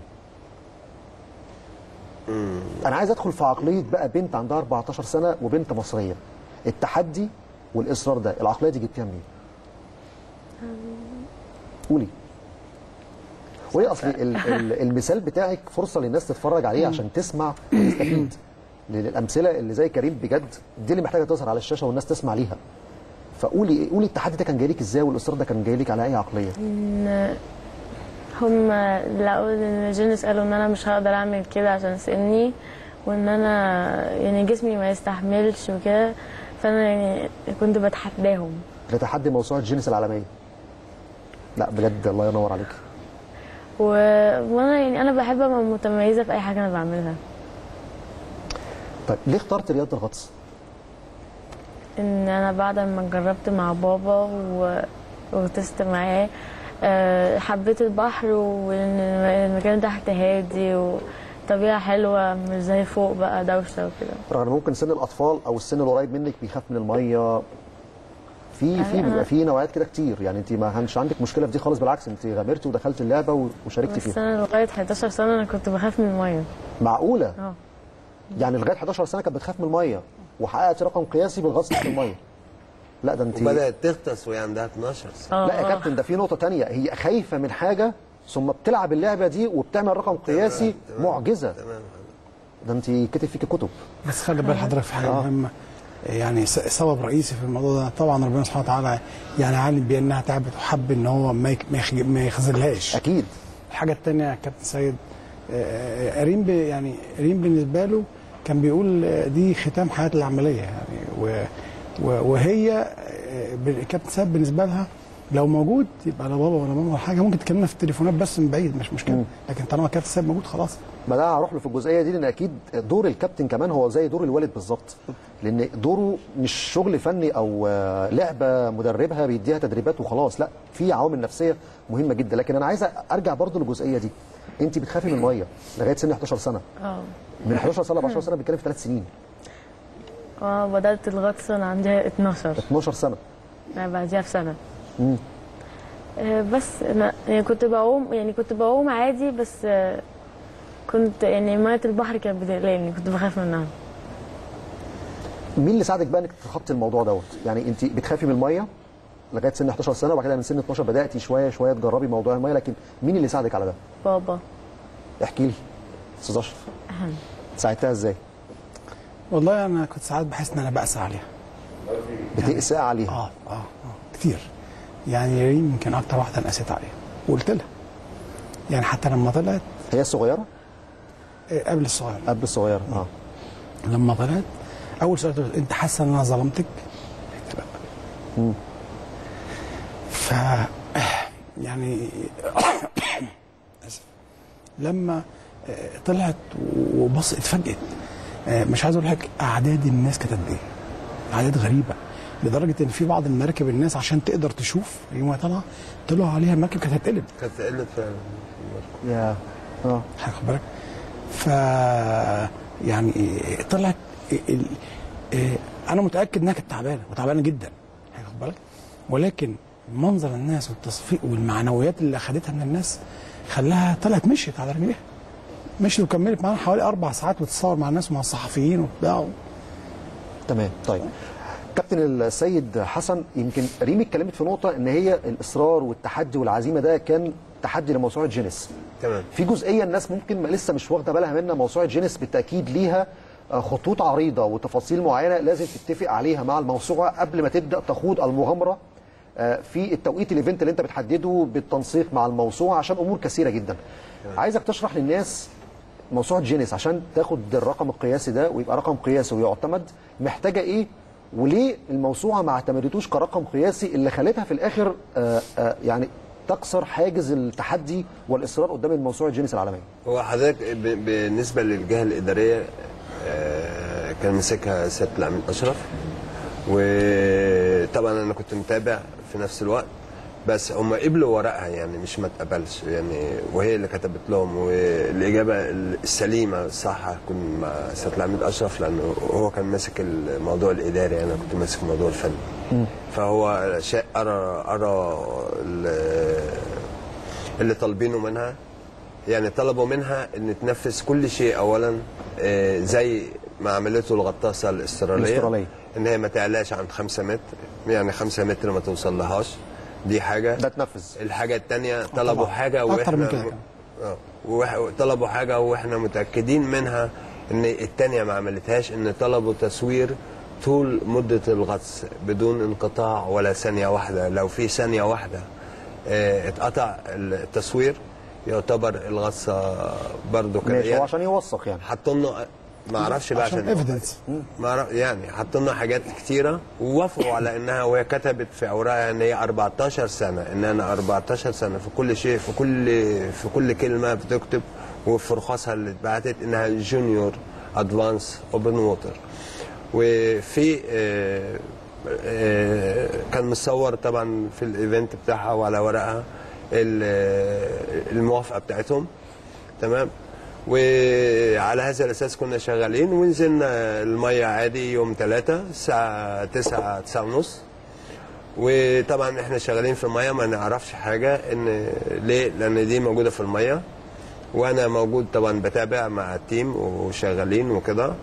وفي النهاية آه وهي في المية طبعا قبلها ب 12 ساعة بعتوا على الإيميل بتاعها إنها يعني disqualified أها. بالظبط كده إن ورقها غير مقبول. الأول إحنا وصلنا ورقك وبنذاكره. إزاي يعني بي- بي- بيتابعوا الورق بتاعها وهي لسه في المية لسه ما طلعتش. إزاي هم receive للأوراق بتاعتها ولل event بتاعها. وبعد كده لا أنت ما تنفعيش. كل ده هي لسه في المية ما طلعتش. يعني شيء خرافي يعني حاجات كده. حضرتك الموضوع بسيط جدا. كلمتين بسيطه يوم 14 سنة. لما تعمل رقم زي كده وتكسر 38 سنة مع الرقم بيسجل باسم مصر. وما ينفعش حد يكسره إلا 14 أو أقل. ما ينفعش 15 واخد بالك؟ بمعنى؟ يعني يعني بيطبق عليه يعني الرقم ده. رينا عملت رقم حققت رقم. عشان حد يكسره لازم يبقى نفس عمرها ونفس الشروط تطبق عليه كل حاجة وأصغر منها. أو أصغر, أصغر منها, منها، لكن أو ما أصغر يكونش منها. أكبر. ما يكونش أكبر. بالظبط ف آه، لو حصل الموضوع ده مصر بس أنا أنا بقول حاجة أنا عارف بنت كويس وعارف الأوروبيين وعارف خلافه من رابع المستحيلات هتلاقي حد 14 سنة هيعمل كده. أنا عارف. تمام. فكان حوالي 99.9% لن يكسر ويحطم هذا الرقم مدى التاريخ. طب في ت... يعني من وجهة نظرك ليه الموسوعة رفضت اعتماد الرقم؟ ما هو وعلى. فكرة يعني هو برضه رقم مش مش منطقي. أو يعني فكرة مش منطقية من الموسوعة. ما هو بص حضرتك ريم بعت لهم ودفعت الفلوس هي اللي دفعت وبعتوا موافقة رسمية ورقية. وقعدنا حوالي شهر ونص جبنا كل المطلوب المعدات المطلوبة بدأنا نتدرب جديا وبدأت تعمل أرقام طويلة. ف آه، آه، جه في مرة ممثل مصر اللي في مصر قال لي هو ريم طلعت في أي برامج؟ قلت له أكيد طلع برامج. قال لي طب ممكن تبعت لي ال linkات بتاعتها؟ قلت له okay. بعتها من كل ده مثبت في الإيميل. تمام. ف خمس أيام بالظبط لقيت تليفون جاي بيقول آه في مشكلة في آه في إنجلترا وال headquarter مش موافق وعايزين نقعد نحل الموضوع بهدوء مع بعض. حسيت إن الموضوع ده قلت له كده الكلام انتهى مفيش كلام معايا أي كلام يبقى مع المستشار القانوني وأنا معايا الموافقه القانونية أنا بشتغل صح الموضوع انتهى. وكملت. بالك آه حاجة مش طبيعية بس إحنا بالنسبة لنا إحنا بصراحة الرقم اللي هي حققته بالنسبة لنا يعني أهم من موسوعه جينيس. يعني الناس كتير. كلها شافت وسمعت وقرت وسمعتها. كتير. تصدق ال account بتاعها كان موجود لحد يوم أربعة يعني كان. ال account مفتوح active لحد يوم أربعة إنها شغالة. مستنيين مستنداتك لحد يوم أربعة بعد ما نزلت الغطسة. الساعة 11 أو الساعة حاجة. 11 صباحا أها. 11 و29 دقيقة الموضوع غيروا اتغير. الاكونت خلاص ففي قربت تطلع شبه تلاعب ولكن إحنا أهم حاجة عندنا بنتنا فرحتنا. هم عرفوا إن هي حققت الرقم فقال لك آه الدنيا اتقلبت لما حسوا إن فضلها 14 15 ساعة وتحقق اتجننوا. ما كانوش متوقعين. هم اخذوا الفلوس وكل حاجة وقال لك خلاص إحنا هي سيبها هي هتقعد لها ساعتين وتطلع. في شق قانوني في المسألة دي بتستأنف على القرار ده ولا خلاص الموضوع لا. منتهي؟ عشان الناس. تبقى بس عارفة المسألة. ديت. ما ينفعش منظمة دي تيجي مصر و... وتخدع المصريين. يبقى إحنا خسارة فيها ان إحنا نعيش في البلد دي. هقريم هيجي لها إن شاء الله. هنقضيهم جوه. وهنقضيهم في الخارج. وراهم وراهم اتليست إن إحنا هنكشف كل التلاعبات دي قدام الناس عشان بعد كده نشوف مين المسؤول عن يعني اتحاد الكرة مسؤول في جهة مسؤولة عنه بتحاسبه. ولكن مين اللي بيحاسب الناس دي إن هم يبيعوا ويشتروا كده؟ مين بيحاسب؟ مفيش حد بيحاسب. طيب طيب. ريم آه، يعني آه، والدك والكابتن اتكلموا في أمور آه، مهمة جدا. طبعا أنت خارج عنها لأنك لاعبة. لكن التحدي ده خلاك تكملي وتحققي رقم قياسي كبير جدا. لما عرفتي إن الموسوعة رفضت اعتماد الرقم القياسي. ده قبله على الجانب الآخر استقبال من وزير الشباب والرياضة. التكريم من مصر بقى من وزير الشباب والرياضة. الت... يعني الاستقبال ده يعني أو التكريم ده شفتيه إزاي؟ والوزير لما قعد معاك واتكلم معاكي إيه اللي اتقال؟ وعايز أعرف انطباعك عن هذه الزيارة. آه، أكيد كنت فرحانة جدا. آه، كلمني يعني كان بيقول لي إن أنا فخر لمصر وإن حتى إن جينيس آه، لو حتى لو اعتمدوا الرقم أو ما اعتمدوش إن أنا كده فرحت المصريين وإن أنا عملت اللي عليا. والوزير اداكي درع تكريم؟ آه تمام. دكتور أشرف صبحي. آه آه. وكانت يعني اتكلم معايا وكانت دفعة معنوية كبيرة. آه كانت كويسة وكنت فرحانة إن أنا فعلا حسيت إن أنا قدرت أفرح بلدي وإن أنا عملت حاجة تفرح الناس وتفرح أهلي وتفرح يعني مصر كلها أنت بالنسبة لك على المستوى الشخصي ولا النفسي التكريم ده بالتأكيد اداك انطباع يعني آه، آه، تكريمي من بلدي أهم 100 مرة من أي طبعا آه، أكيد يعني شايفة المسألة دي إزاي برضو والوزير قال لك إيه في سياق الحديث وهو قاعد معاكي نعم. شفت الحديث إزاي والوزير قال لك إيه. هو قال لي إن أنا قال لي إن حتى لو جينيس اعتمدوا الرقم أو لأ إن أنا كده عملت اللي عليا وأنا كده عملت حاجة لمصر. وإن أنا فخر لمصر مظبوط يعني فرحانة آه. كلمة فخر مصر دي يعني انت بتتقال محمد صلاح فخر مصر وفخر العرب انت بالنسبة لك كمان نفس المعنى بيتقال لك آه كانت كانت معنوية كبيرة. كويسة مم. طيب وإحنا بنعرض اللقطات اللي الناس شافتها منذ قليل وانت تحت المية.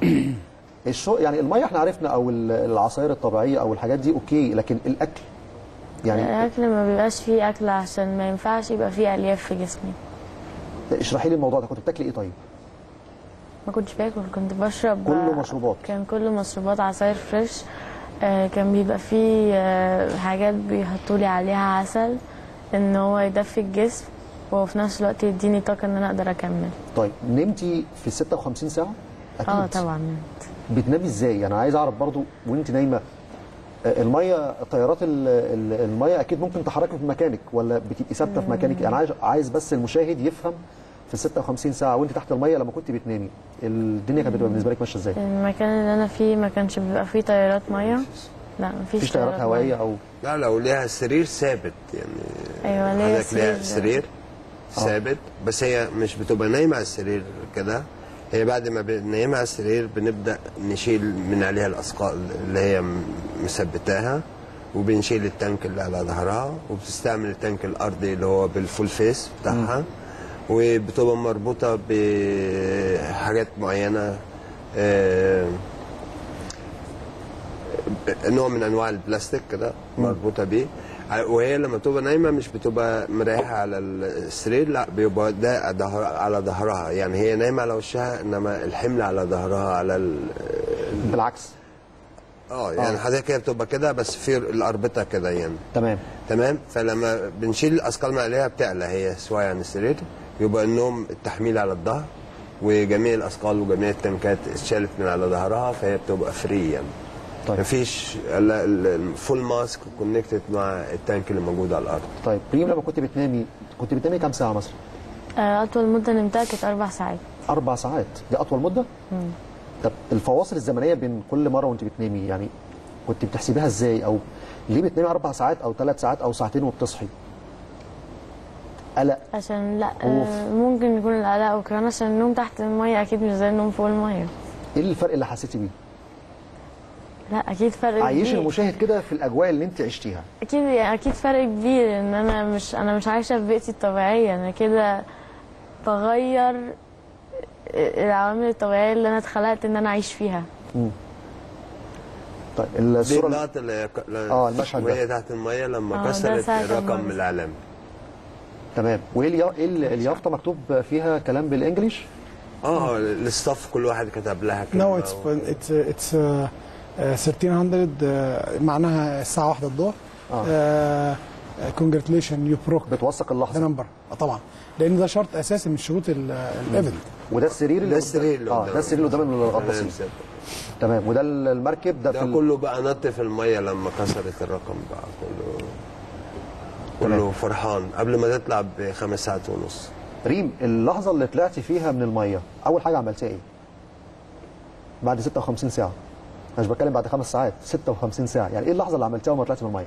هي هي أول حاجة عملتها آه، قلعت الماسك بتاعي وشلت الرجليتر من بقي عشان هتنفس هوا. عايزه هوا بقى. عايزه هوا. وعملت إيه؟ يعني أول حاجة عملتيها أول مكالمة تليفونية كلمتي مين؟ است... مين كلمك؟ مفيش كان كان في حضن كبير هنا آه على كان السلم اول يعني. اول واحد قابلته كان بابا. إيه المشاعر بقى كانت إزاي ساعتها؟ قولي. اتكلمي لا حضني هو الأول سالني زي ما حضرتك هو سألني إن هو ظلمني في حاجة قلت له لا. بعد كده عيط خدني وحضن لحظات مؤثرة فعلا لحظات آه، مؤثرة. طيب الأستاذ أشرف آه، إيه الرسالة اللي تحب توجهها؟ وإحنا عندنا بنت مصرية حققت رقم قياسي آه، سواء اعترفت بيه موسوعة جينيس العالمية للأرقام القياسية أو لم تعترف استقبال وزير الشباب والرياضة. إيه الرسالة اللي ممكن تقولها في اللحظة دي لريم أو لأي لاعبه أو أي حد رياضي عايز يحقق رقم قياسي باسم مصر. آه، اللي بيحب مصر لازم يتعب عشانها. وده مش كلام ولا شعارات بالعكس. آه، لأنه مش هينجح إلا لو كان له ولاء لبلده زي ما له ولاء لأهله. لكن سقط ولاء من الاثنين مش هيقدر يحقق أي حاجة. مش هيقدر يحقق حاجة. مستحيل رابع المستحيلات آه، لما ريم السبب الأساسي. أنا بقول لحضرتك قدام أهو السبب الأساسي خلاها عملت كده وأصرت. شافتني في الفترة الأخيرة بتكلم مع ممثل جينيس كتير واتنرفز. ضايق. آه بقيت بقيت أحاول أبص في عينيها. أقول لها بصي لو أنت حاسه انت تعبانة لحد ليله ال event آه ما تقلقيش أنا هتصرف مع الاعلام هنتكلم بصراحة وخلاص. قالت لي لا مستحيل. لدرجة إنها قالت له وسيم لو شفت صبعي ده عمل كده اكسرهولي. ما تسمحوليش إن أنا أطلع. فاحنا إحنا قدام مقاتل آه، صعقة كبير قوي يعني. دخلها قوات خاصه طيب آه، ريم برضه عايز أسألك على جزئية الدراسة. أنت في ثالثه إعدادي. آه. إزاي بقى بتواظبي ما بين الدراسة والرياضة والإنجاز والمعجزة اللي أنت عملتيها؟ 56 ساعه في الميه يعني عندك مذاكرة وعندك مدرسة وهتتاخدي غياب في حاجات آه. كتير ممكن تتعمل وإنذار واستدعاء لولي أمر. يعني- ولي الأمر ولي الأمر عارف إن أنا غايبة عارف إن أنت. موجودة لكن لا عايز أتكلم يعني أنت التزام الدراسة والتزام الرياضة في حاجات كتيرة جدا. إزاي بقى بتواجبي بين ده وبين ده؟ والمدرسة كمان عندك عارفين أكيد اللي أنت رياضية. آه أكيد عارفة. فإزاي بقى بت بتعملي شغل متوازن ما بين دي ودي؟ آه، أنا بلعب رياضة من وأنا عندي خمس سنين. وبس فانا بعرف أنظم وقتي وعارفة إن كل حاجة ليها وقتها. فالرياضة عمرها يعني ما أثرت على دراستي قبل كده. يعني بس يعني في أيام المدرسة الغطس بيبقى جمعة وسبت. فبيبقى بعيد عن أيام الدراسة خالص إن هو ما بيأثرش على أي حاجة. أيام الامتحانات بيبقى أسبوع أو أسبوعين مفيش غطس خالص. بيبقى هو المذاكرة بس. وفي الأجازة بغطس في أي وقت. وشاطرة في الدراسة؟ آه الحمد لله. ده درجات نهائية ولا درجه اتنين نعم. درجات نهائية. أستاذ أشرف آه، مستواها الدراسي كمان مع الرياضي يعني؟ لا بص حضرتك آه، صدقني آه، آه، صغيره بس فكرة كبير بسم الله ما شاء الله. جدا جدا. طيب كابتن السيد وإحنا بنتكلم عن التدريب. آه بالفعل انت خلاص يعني قلت المرحلة دي الأخيرة بالنسبة لي وأعتزل التدريب ولا لا أعتزل مين؟ أنا هتكمل معاها وممكن تطلع واحد واثنين وثلاثه ولا؟ إن شاء الله لا مش واحد واثنين وثلاثه انما ريم آه، بمفاجأة جديدة ليهم ليهم بقى. ليهم. ولينا إحنا بقى عشان نفرح في الصيف الجاي عشان الميه تبدأ تبرد وفي دراسة. طبعا هيبقى لو هي مش هتبطل طبعا هيبقى في حتى لو يوم في الأسبوع تغطس عشان الغطس محتاج آه، على طول تبقى في المية موجودة. ولما نبدأ بقى أول ما الصيف يجي إن شاء الله في مفاجأة يعني. ممكن نحضر حاجة تاني الفترة الجاية؟ إن شاء الله إن شاء الله. يعني الصيف الجاي بإذن الله. الصيف الجاي. الصيف الجاي الحاجة إنما التهيئة وكده ده من من من دلوقتي بنبدأ فيه يعني ده ده هو إحنا قاعدين هنا بنتشرف بوجودنا معاها وبالإنجاز اللي عملته. وعايزين نقعد تاني برضو نيجي هنا ونقول إحنا عملنا إيه تاني إن شاء الله الصيف الجاي. إن شاء الله بإذن الله. ريم كلمة أخيرة في ختام هذا الحوار. تحب تقولي إيه في ختام هذه الفقرة؟ عايزة أقول لكل الناس اللي دعمتني شكرا إن هما كانوا يعني سبب كبير في إن الموضوع ده نجح. وعايزة أقول لكل الناس اللي في سني إن هما لو عندهم موهبة معينة حاجة هما متميزين فيها لازم يطلعوها في حاجة مفيدة. لازم يجربوا إن هو ما ينفعش يقولوا إن هما مش هيقدروا لازم يجربوا الأول. وبس. وبس. طيب أستاذ أشرف كلمة أخيرة. آه نفسي آه ريم دي تبقى مليون ريم في مصر. اتمنى اتمنى كده يعني. الإنسان المصري آه، يقدر يعمل المعجزات. بالظبط كده. وده اللي يعني عايزين نوري ال- ال- ال- الغرب بقى و- يعني نبطل إن إحنا بقى نتوهم بال- بالعين الملونه والشعر الأصفر. لازم نوريهم إحنا أنتوا جاي لكم جيل. هو ده. ده الجيل اللي جاي. لكم ده اللي هيبقى في الدم. كابتن السيد حسن آه كلمة أخيرة تحب تقولها. لريم ولكل الرياضيين بشكل عام. لريم انت يعني رفعت راسنا وشرفت مصر و... وإن شاء الله هيكون في أكتر من كده تاني ومنتظرين منك معجزات تانية. أكيد إن شاء الله. أكيد بإذن الله. إن شاء الله. مشاهدي قناة الأهلي في كل مكان فقرة حوارية بالتأكيد كانت مختلفة تماما في فكرتها وفي مضمونها وفي تفاصيلها. آه، معانا معجزة. يعني ريم أشرف أنا بقول بنت مصرية على طريق العالمية لكن معجزة بتعبر بجد عن طبيعة الإنسان المصري.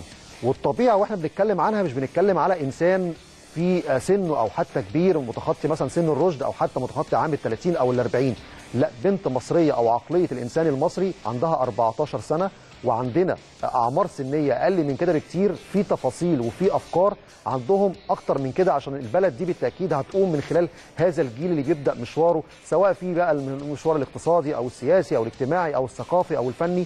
عندنا آه، طوائف كثيرة جدا داخل المجتمع المصري في أفكار وفي آه، عقليات تقدر بإذن الله تحط البلد بالتأكيد على مصاف الدول العالمية. في آه، مجالات كثيرة وفي تقدم في أمور كثيرة جدا. ودورنا هنا في قناة النادي الأهلي نلقي الضوء سواء هي حتى كمان بنت من بنات النادي الأهلي بدأت لعبه آه، لعبة الكاراتيه أو حتى ألعاب أخرى أو حتى اتجهت إلى الغطس لكن بالتأكيد الأندية المصرية والنادي الأهلي في أمثلة كثيرة جدا. لو توفرت لها الإمكانيات هتقدر تحقق أرقام قياسية وهيكون عندنا رياضيين على أعلى مستوى. أنا بشكركم شكرا جزيلا. فقرة بجد مفيدة جدا للمجتمع المصري والمجتمع الرياضي بشكل عام. لكن ما تروحوش بعيد الفقرة القادمة فقرة مختلفة أيضا. معنا الكابتن خالد العوضي المذيع اللامع وعنده فقرة استثنائية مع نجوم لعبة الاسكواش عدد من اللاعبين المتميزين وأيضا المدير الفني المتميز لعبة الاسكواش واللي حقق العديد من الألقاب. منذ أن تولى المسؤولية كمدير فني الكابتن ناصر زهران.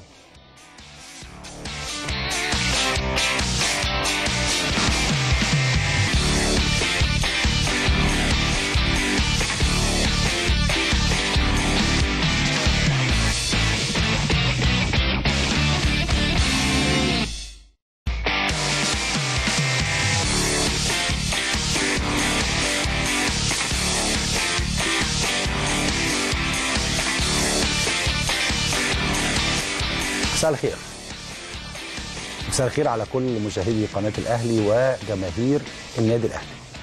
النهاردة معانا كل مرة بيكون معانا أبطال من النادي الأهلي بيكون معانا أبطال عالميين وأبطال دوليين وأبطال محليين. والنهاردة معانا لعب أبطال من لعبة فردية. لعبة فردية محققة إنجازات كتيرة داخل النادي الأهلي. وعلى المستوى ال- ال- العالمي محققة برضو إنجازات كتيرة جدا جدا جدا. دائما وابدا كلنا بنحب اللعبة دي وحبيناها من زمان من أيام بطولة الأهرام من أيام كابتن أحمد برادة وهي لعبة الاسكواش والنهاردة معانا. ومعاكم كابتن ناصر زهران المدير الفني ورئيس جهاز آه، الاسكواش في النادي الأهلي. كابتن ناصر مساء الخير. معانا ثلاث نجوم من ثلاث لاعبين. كابتن أحمد محمود مساء الخير. مساء الخير وكابتن آه، رانا هشام مساء الخير. كابتن إبراهيم الأباني. أخبارك إيه؟ كله تمام. كله كويس؟ كله تمام. مبسوط أنت معانا النهارده؟ آه طبعا. نبدأ مع كابتن ناصر ونشوف أبطال الاسكواش ولعبة فعلا يعني بتحقق حاجات كويسة جدا على الصعيد المحلي والدولي والعالمي. كابتن ناصر هنبدأ من أهم حدث حصل النهارده ونجمنا مصطفى عسل نجم النادي الأهلي وتحقيقه لميدالية أولمبية خارج اولمبياد الشباب. بتخش الأول استعراضية وفي السنغال 2022 أعتقد إن هي هتخش يبقى لعبة رسمية. كابتن ناصر تقول إيه على هذا الإنجاز بتاع كابتن مصطفى عسل آه طبعا هو الحمد لله يعني النادي الأهلي طبعا هو صاحب إنجازات آه آه في جميع الألعاب. ونتكلم عن الاسكواش بصفة خاصة طبعا مصطفى عسل وكريم عبد الجواد وعندنا أبطال عالم الحمد لله على مستوى عالمي كتير. ويثرب يمكن وكمان لا ننسى يثرب عادل لسه محققه واصله دور الثمانيه في بطولة US Open كمان يعني. آه، خلال من قيمه يومين. فاتكلم على مصطفى عسل آه، هو بيضاف إلى إنجازاته لسه واخد بطولة العالم للناشئين تحت 19 سنة فرج وفرق النهارده بيكمل المسيرة بتاعته والحمد لله بيكسب آه، بطولة آه، شبه أولمبية آه، وبيكسب جميع الناس ما حدش بياخد منه جيم. دي- حاجة طبعا إنجاز يضاف إلى النادي الأهلي آه، برئاسة الكابتن محمود الخطيب طبعا يعني. آه، كابتن كنت بتكلم معاك قبل الهوا وبنتكلم على بطولة شرم الشيخ وبطولة ال Black Ball وبكلم حضرتك على البطولات دي فقلت لي إحنا عندنا 17 بطولة. عايزين نقول ال 17 بطولة سريعا وعندنا بطولات إيه بالظبط في الاسكواش عشان نبتدي نتكلم مع أبطالنا الموجودين معانا. هو طبعا الاتحاد السكواش كان عامل السنة دي حاجة جديدة جدا يعني. كان كل سنة عندنا 17 بطولة بتقابلنا مشاكل كتيرة آه، كبيرة جدا. بدأ يصنف البطولات البطولات الكبرى فاللي بعديها واللي بعديها. البطولات الكبرى اللي هي بطولة الجمهورية والمناطق آه، اللي هي القاهرة واسكندرية آه، وبورسعيد. ادي ثلاث بطولات. بخلاف خمس أندية عاملهم اللي هم أكبر فئات منهم طبعا النادي الأهلي ونادي وادي دجلة ونادي سموحة ونادي سبورتنج ونادي الصيد. دول الخمس بطولات الكبار اللي هم بيخشوا في في النقاط أعلى نقط بتضاف إلى اللاعب عشان تصنيفه خلال المسيرة بتاعته طبعا. كل لاعب بيختار البطولة المناسبة ليه والنقط. على أساس كل لاعب بيحاول يلعب في الموسم حوالي من خم من خمسه إلى تسع بطولات على أساس يبقى هو دوت الترتيب والتصنيف اللي اللي, اللي يساعده إنه يخش مع منتخب مصر في جميع البطولات الخارجية. حضرتك قلت حاجة مهمة إن اللاعب هو اللي بيختار. هل اللاعب يختار ولا النادي اللي بيختار؟ أو الاثنين مع بعض؟ آه، الأول إحنا بنشوف آه، يعني مصلحة اللاعب فين ونقعد معاه ونتكلم معاه أنت تلعب في البطولة ديت أو البطولة ديت وفي الآخر لو اللاعب ليه رغبة وإحنا حاسين إن الرغبة ديت غير مناسبة ليه أو فطبعا إحنا الكلمة الأولى والأخيرة للنادي طبعا يعني. كابتن إبراهيم قول لي لعبت في أي بطولة؟ Black Ball لعبت Black Ball آه. قول لي ال Black Ball دي بقى يعني البطولة كانت عبارة عن إيه وكان مين معانا جوه البطولة دي؟ آه، البطولة دي كان آه، في نفس الوقت آه، كان في بطولة Black Ball وبطولة شرم الشيخ. مظبوط. في ناس كر- يعني قالت إن هي هتروح بطولة شرم الشيخ. في عدد لعيبة بيكونوا في في Black Ball مش موجودين في شرم الشيخ. فهو الصراحة كان أسهل لي وبالنسبة يعني حاجة بالنسبة لي أنا كانت أحسن لي إن أنا ألعب في بطولة Black Ball آه، يعني ما كنتش عايز أسافر الصراحة. فبس طب قول لي Black Ball كان أصعب ماتشاتك فيها إيه؟ آه، الصراحة ال final كان كان من أصعب الماتشات اللي لعبتها في في البطولة. ولا يعني هو الحمد لله كل ال يعني كل الم كل الماتشات من أول دور ال 16 وهي ماتشات يعني تقيلة ماتشات مش مش سهلة يعني. ماتشات مش سهلة عليك. آه يعني. كابتن أحمد محمود آه لعبنا في شرم الشيخ. الحمد لله. مظبوط؟ الحمد لله. وبرضه قلنا إن في حاجة جاية تدريب مع كابتن ناصر. قال لي أنت هتبقى مدرب قريبا أو أنت مدرب ولاعب وبتاع. بس عايزين ناخد خبرتك في بطولة شرم الشيخ. أخبارها إيه؟ إيه اللي حصل هناك في بطولة شرم الشيخ؟ والله الحمد لله. إحنا استعدنا كويس للبطولة ويمكن طبعا بتوجيه من كابتن ناصر. كابتن ناصر ملم بكل أمور السكواش يعني محليا وعالميا.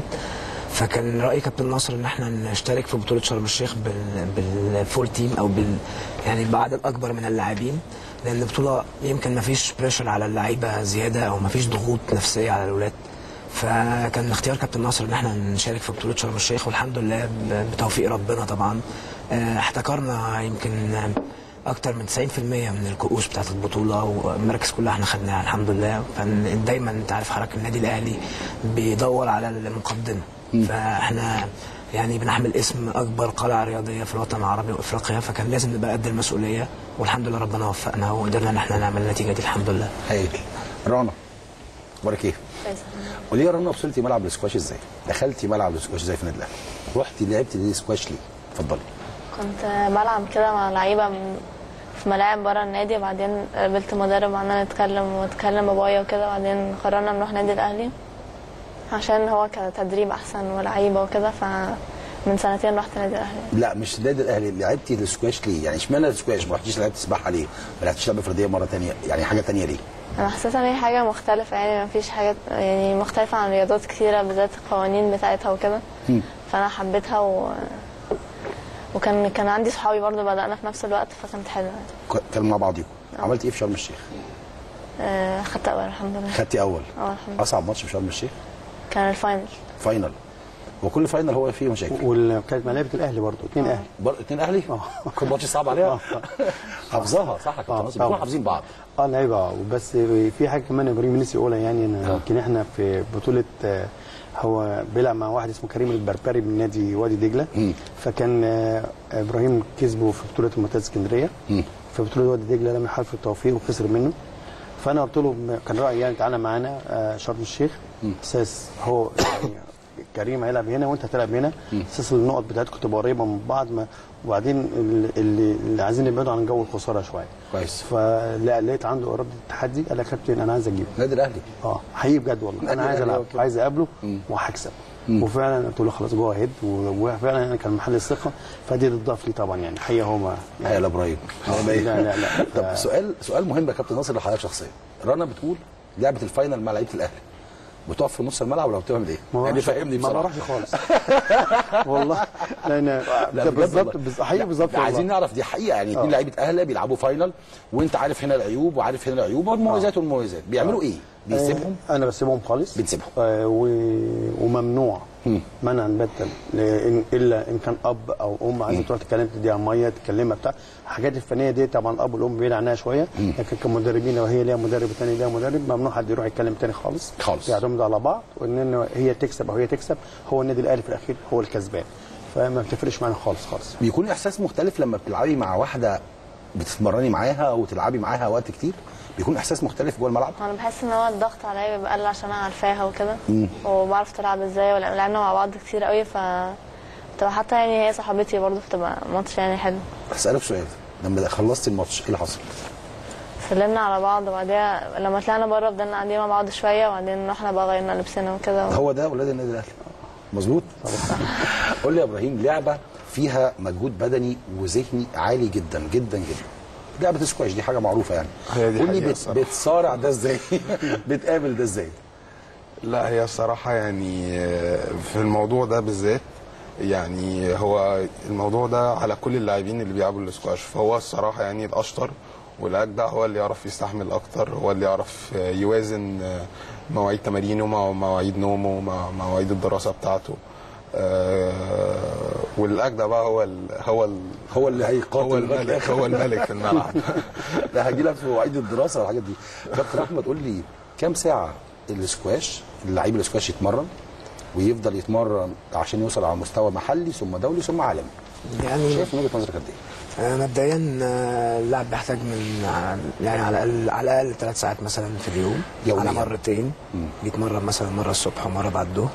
بتبقى مثلا ممكن الصبح بيبقى بيتمرن fitness مثلا مع مدربه وبعد كده بي- بيدخل ملعب السكواش يعمل footwork يمشي لوحده شوية عشان يبقى في control أكتر جوه الملعب آه، يعني إيه يمشي لوحده معلش يعني, نفهمها عندنا. يمكن عشان لعبة. فردية عندنا لا عشان لعبة فردية فدايما آه، اللي بيبقى عنده control أكتر جوه الملعب آه، هو اللي بيبقى يعني بيبقى نسبة فوزه بال- بال points أو بال- بالنقط بتبقى أحسن بتبقى كورته دايما مظبوطة كورته دايما بترجع في, في, مكان صعب بيبقى دايما عامل pressure على اللعيب اللي معاه جوه الملعب. فده بيحتاج إن اللاعب يبقى واقف لوحده في الملعب كتير ويبتدي يمشي هو لوحده كتير. ده زائد تمرين المدرب طبعا. وبعد الظهر بقى طبعا كابتن ناصر كان يعني بيبقى دايما مقسم لنا التمرين على جزئين. بعد الظهر الولاد بيجوا كلهم يعملوا team training مع بعض ويلعبوا games مع بعض. بس طبعا ثلاث ساعات الصبح وثلاثه بعد الظهر؟ لا. ساعة ونص ساعة ونص ساعة ونص. ده, سكواش بخلاف بقى ال fitness بتاعه وال... في نفس اليوم؟ آه. يعني بيقسمهم هم يعني هم آه، أنا بتهيألي اللعيبه دول أنت ميعادهم ميعادهم في الملعب. لسه بقول لك. متفرغين طب يعني. نقول نقول لمجلس الإدارة يعمل لهم هناك سراير ويناموا. جوه النادي صح؟ لا دي حقيقه يعني. بيتعبوا فعلا. آه، ومش هم كمان يعني يعني من من هنا بجد والله يعني آه، أولياء أمورهم لهم دور كبير جدا. في عملية تنظيم الوقت بتاعهم والدراسة وكلام من ده. يعني مامته مثلا آه، وباباه كمان بطل الاسكواش محمد الألباني ومامته مدام رحاب طبعا. سكواش آه، برضو؟ آه هم واجعين دماغي على طول بالتليفونات. يعني يعني يعني بس برضه بس مدام رحاب بالذات. فبس ده من حرصها عليه وعايزاه يبقى كويس طبعا. ودي حاجة بتبسطني إن الأب والأم آه. بيبقى آه، بخلاف إن أنا متابع هم متابعين كمان أي نواقص بيكملوها لنا وبيبقوا معانا آه، 10 على 10 بخلاف طبعا مامتها هي النهارده جايباها مستنيها بره. آه. ومصرها لغايه هنا وبابا أحمد يعني. آه، بصراحة آه، الاسكواش دي أسرة جميلة جدا و- والواحد مبسوط إن هو موجود في وسط الناس زي دي. لا أنا بقى هتكلم إبراهيم بالذات في إيه، في الدروس الخصوصية اللي عنده في البيت. قول لي يا إبراهيم إزاي؟ يعني أنت رحت سكواش عشان ماما وبابا بيلعبوا سكواش؟ لا الصراحة أنا بدأت اللعبة دي عشان بابا زمان كان بطل في اللعبة دي وهو اللي خلاني أحبها الصراحة. خل... آه، ابتدينا سكواش آه، من وأنا عندي خمس سنين. آه، كل سنة عن سنة كنت بحب اللعبة أكتر. لغاية لما كبرت وحسيت إن دي خلاص دي بقت حياتي. هي كده. هي حياتي. طب سؤال بنلعب ماتش. فلعبنا كويس أو لعبنا وحش؟ في بقى دروس خصوصية في البيت تقعد بقى وفي كلام من البيت بابا وماما وكده؟ لا هم- وتعليمات ولا بيسيبوك أنت والمدرب؟ بصراحة. لا هو الصراحة يعني على حسب على حسب كل كل بطولة مثلا وال mood بتاعي. مع يعني مثلا في بطولات ساعات لما بخسر بكون مش مش مش عايز أتكلم. آه، في ساعات بكون محتاج حد يكلمني يقول لي إيه ال- الأخطاء اللي أنا عملتها. آه، عشان مثلا ما أكررهاش تاني البطولة اللي بعديها. كده على حسب كل بطولة ببطولة يعني. يعني دي ناحية إيجابية بالنسبة لك مش ناحية pressure مفيش ضغط عليك لا لا خالص خالص. خالص. آه لا. مستمتع أنت بالموضوع ده؟ أنا آه بصراحة يعني حابب الموضوع حابب الموضوع لا خلاص مفيش مشكلة. طب رنا قولي لي. الكابتن ناصر بيقول ماما هي اللي شايلة تقريبا الحمل. صراحة يعني هو مقسمنا في البيت. يعني مامتي هي اللي بتقعد تكلمني مثلا إن هو دايما أشد أكتر وكده لكن بابايا مثلا هو اللي دايما بينصحني مثلا إيه الصح. وإيه الغلط وكده؟ بيكلموك في فنيات الاسكواش. لا يعني هو دايما بيكلموني كحاجات عامة عمرهم ما بيكلموني عن التدريب مثلا أو حاجة. يعني مثلا بيكلموني عن آه، بالذات بابايا مثلا يكلمني على حسب طريقتي في الملعب والحاجات دي. لكن مامتي مثلا هتقعد تقول لي اتمرني أجمد وكده لكن مش اللي هو اتمرنتي واحد. يعني عمرهم ما هيتحط عليا الضغط إن أنا لازم لا- مش لازم. لازم إيه؟ قولي قولي عادي جدا. قولي قولي ولا ولا إحنا قاعدين قاعدة يعني. هادية. قولي. لا يعني عمرهم ما بيهزقوني أو حاجة لو اتمرنت ما. بحطش تحت ضغط خالص. خالص. آه، خالص خالص. ما شاء الله دي حاجة آه. كويسة خلي بالك برضو بس بتقولي لماما بقى تشكريها آه هما الاثنين حاجة مهمة جدا في الحياة بصراحة. كابتن أحمد آه، كان زمان أيامي أيام زمان يعني مش قريب ال... كان عندنا بطولة الأهرام. بالظبط بطولة الأهرام. وكنت أنا واحد من الناس بستمتع جدا بلعبه السكواش. وبتفرج وكابتن أحمد برادة ده عالم كبير فيه آه ليه البطولات دي مش متكررة؟ ما فيش شهرة زي زمان. ما عادتش عندنا ال- البوش القوي إن إحنا نعمل بطولات زي كده. ليه؟ آه، والله مش. مش لسبب معين. يمكن إحنا يعني برادة كان عامل حالة للسكواش المصري كله. يمكن برضو كابتن من من أحد يعني من الناس اللي كانوا مدربين لأحمد وكانوا معاصرين أحمد وكانوا معاه دايما. فيمكن براده هو كان آه، يعني الشعلة اللي نورت طريق السكواش للمصريين إن هم يحبوا السكواش ويبتدوا يدخلوا السكواش ويبتدوا يلعبوا سكواش. آه، اختفت بطولة الأهرام شوية لحد ما إحنا ابتدينا نرجع تاني لقمة السكواش على مستوى العالم بالنسبة للسيدات وللرجال. وابتدى عمرو منسي عندنا مجتهد وبيعمل بطولة الجونة كل سنة بطولة ناجحة جدا ومن أقوى البطولات. يمكن السنة دي برضو في كذا بطولة PSA محترفين وهيجي فيهم يعني أقوى لعيبة في العالم. يمكن بلاك بول عامل بطولة برضو السنة دي PSA دولية. كان في بطولة اسكندرية الدولية كانت هتتعمل برضو بس ما حالفهمش الحظ يعني ما كملتش وكده. بس يعني إحنا بنخطو بخطى ثابتة إن شاء الله إن إحنا نستعيد تاني البطولات العالمية جوه مصر إن شاء الله. علشان ده يمكن آه، يعني أقل حقوق الأبطال اللي العالم كله بيتكلم عليهم. إحنا عندنا يمكن ال- ال- ال top 10 في الرجال عندنا ستة موجودين مصريين وال top 10 في السيدات برضو حوالي أربعة أو خمسة برضو. فيمكن إحنا بنحتكر الاسكواش على مستوى العالم كله. كابتن ناصر كابتن أحمد بيقول محتكرين السكواش. السته السته من ال top 10 عندنا حد من النادي الأهلي جوه جوه ال ranking؟ ده طبعا كريم عبد الجواد موجود. كريم عبد الجواد. آه نعم من أحسن من أفضل أربعة المفروض يعني الحمد من لله. أفضل أربعة في العالم. آه طبعا يعني حاجة كان بطل العالم. آه، يعني كان ترتيبه نمره واحد لمدة سنة وسنه ونص على مستوى العالم. طبعا دي حاجة كويسة جدا طبعا. عندنا ال- اللي جاي إن شاء الله عندنا الكابتن أحمد حسني يمكن بدأ يخش دلوقتي في الخمسينات عندنا هيقرب. هيقرب إن شاء الله طبعا. وعندنا كريم علي. آه، كريم علي فتحي جبناه السنة دي برضه في الخمسينات وعندنا آه، مصطفى عسل. آه، ما شاء الله عمل جول هيفرق معاه الرقم ده. لسه كان بيلعب في كندا ووصل فاينل في بطولة وقبل كده راح في الأرجنتين كسب بطولتين من هناك من ثلاثة. يعني لا الدنيا ماشية كويس جدا يعني. هنشوف هنشوف أمثال عمرو شبهنا و- وكريم عبد الجواد كتير في النادي الأهلي؟ في الوقت اللي جاي؟ آه أنا يعني أنا أنا أنا حاسس في إبراهيم طالع وفي عندنا آه، مصطفى كمان طالع وفي لا عندنا وفي علي الطوخي وفي لعيبه لا في كتير في كتير جدا في النادي الأهلي دلوقتي. يعني إن شاء الله ال- المستقبل اللي جاي هتلاقي النادي الأهلي دوت يعني عنده على الأقل خمس ست لعيبة داخلين فوق يعني. وبعدين الحمد لله إحنا السنة دي يعني النادي الأهلي بقيادة الكابتن رؤوف عبد القادر آه، نشاط رياضي والدكتور ياسر مسير عاملين مساعد عامل قوي جدا لينا مساعدين جدا جدا جابوا لنا النهارده يعني ساعدونا في اللعيبه كتير جبناها السنة دي الحمد لله. يعني اللعيبة اللي جت النادي الأهلي مش جايين عشان آه، آه، سكواش وبس لا حبا في النادي الأهلي. ودي أهم حاجة عندي طبعا يعني هم جايين ين- يعملوا إنجازات للنادي الأهلي زي ما تكون زي النهارده إبراهيم وزي رنا طبعا يعني.